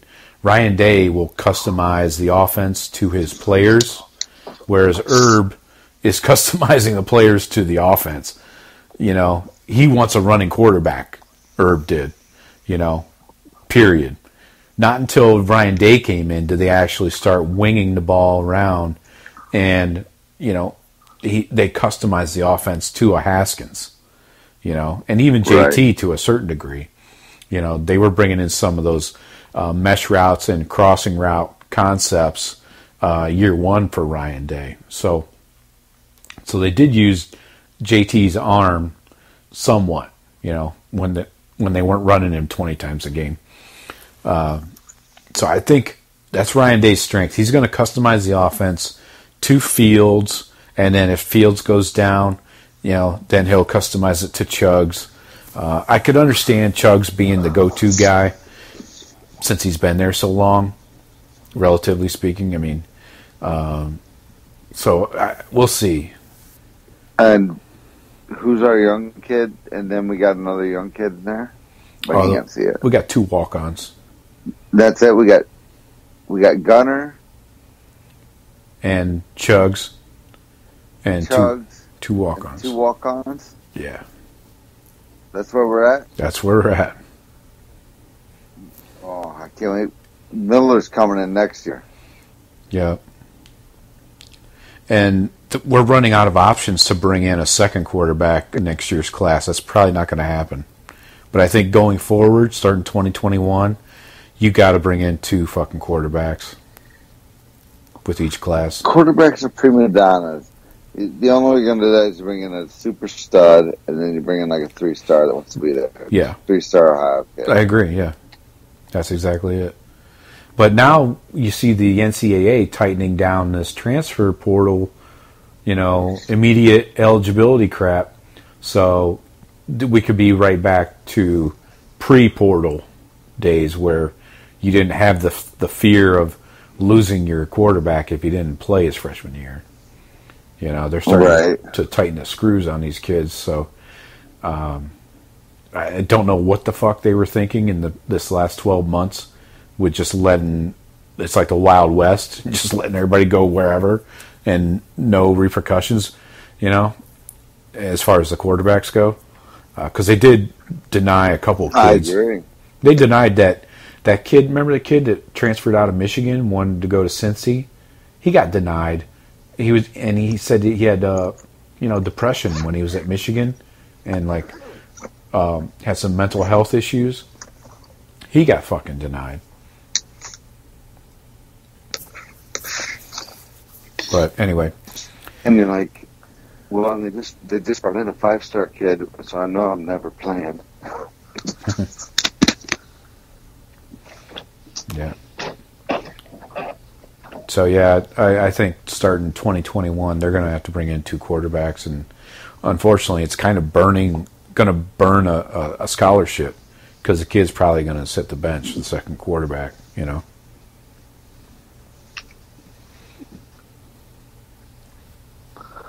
You just gotta get the right kid, Yeah. Yeah. or you just get a couple studs every year, and one transfers out every other year, but you keep getting two every year. yeah. Hey, somebody's gonna be our guy, and somebody's not. Yeah.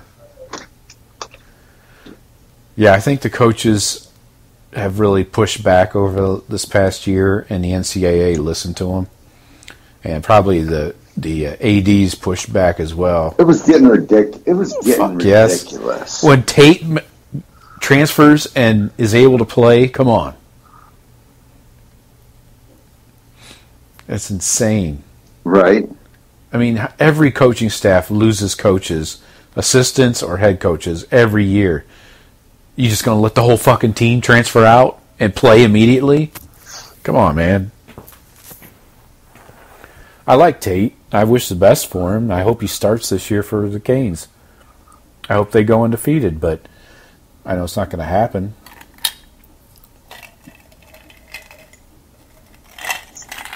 I'll be. In, I, I would like to see him play for sure. Yeah. And he's exciting, you know. Plays a, a different style of a game, but you know, he'll bring some Uh, well, we've never seen him throw a football, right? very few, and they weren't good. They weren't good. No. And that was his be- the whole beef they had back in the spring game there in, uh, down in Miami is uh, that uh, his accuracy was way off. I remember seeing him throw a few in garbage time last year, and he just doesn't have the, the arm strength, you know, especially on deep balls, of course. Um, and those out routes, he can't hit those those 10, 15 yard out, you know, out cuts uh, with timing, you know. But that was Urb's quarterback. I mean, that was his kind I of felt guy. like they really loves him. Oh, Urb did because Urb wanted to run him. yeah. Anything else we need to cover tonight? We had a long one. Looking at two hour podcast. Like the Joe Rogan experience. no, yeah, I think that's it. See, uh, see you in a couple, whatever. Maybe, maybe something out of camp Yeah. raises our eyebrows. Yeah. Uh, I'm sure nothing will go wrong at uh, Big Ten Media Days. I'm sure it'll be just another year uh, back to normal. Boring.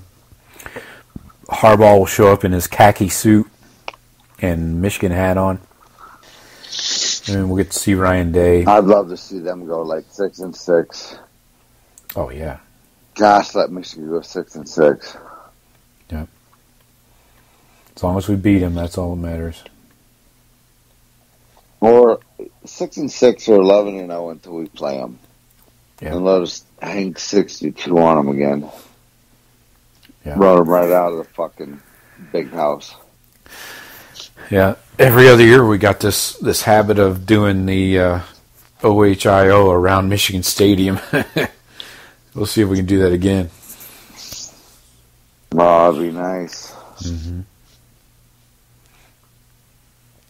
So, all right, folks, you know what to do.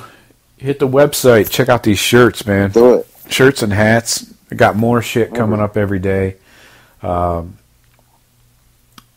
we will put the Whatever. Do it. yeah all the profits go into the podcast. Pay for this thing. This thing isn't free, man. I've been paying for this thing on my own dime. About time I get something back. Uh, as always, follow us, tweet at us, send us your questions, comments. Uh, don't be afraid to uh, subscribe and download the show, then delete it and download the show again. And uh, leave us a, a nice five star review if, if you're so inclined. And why wouldn't you be? So, this- this far. yeah, I mean, yeah. At this point, you might as well. You're not really hurting anything. Uh, this is the summertime. We're just trying to get through it. We got 50 days until fucking football.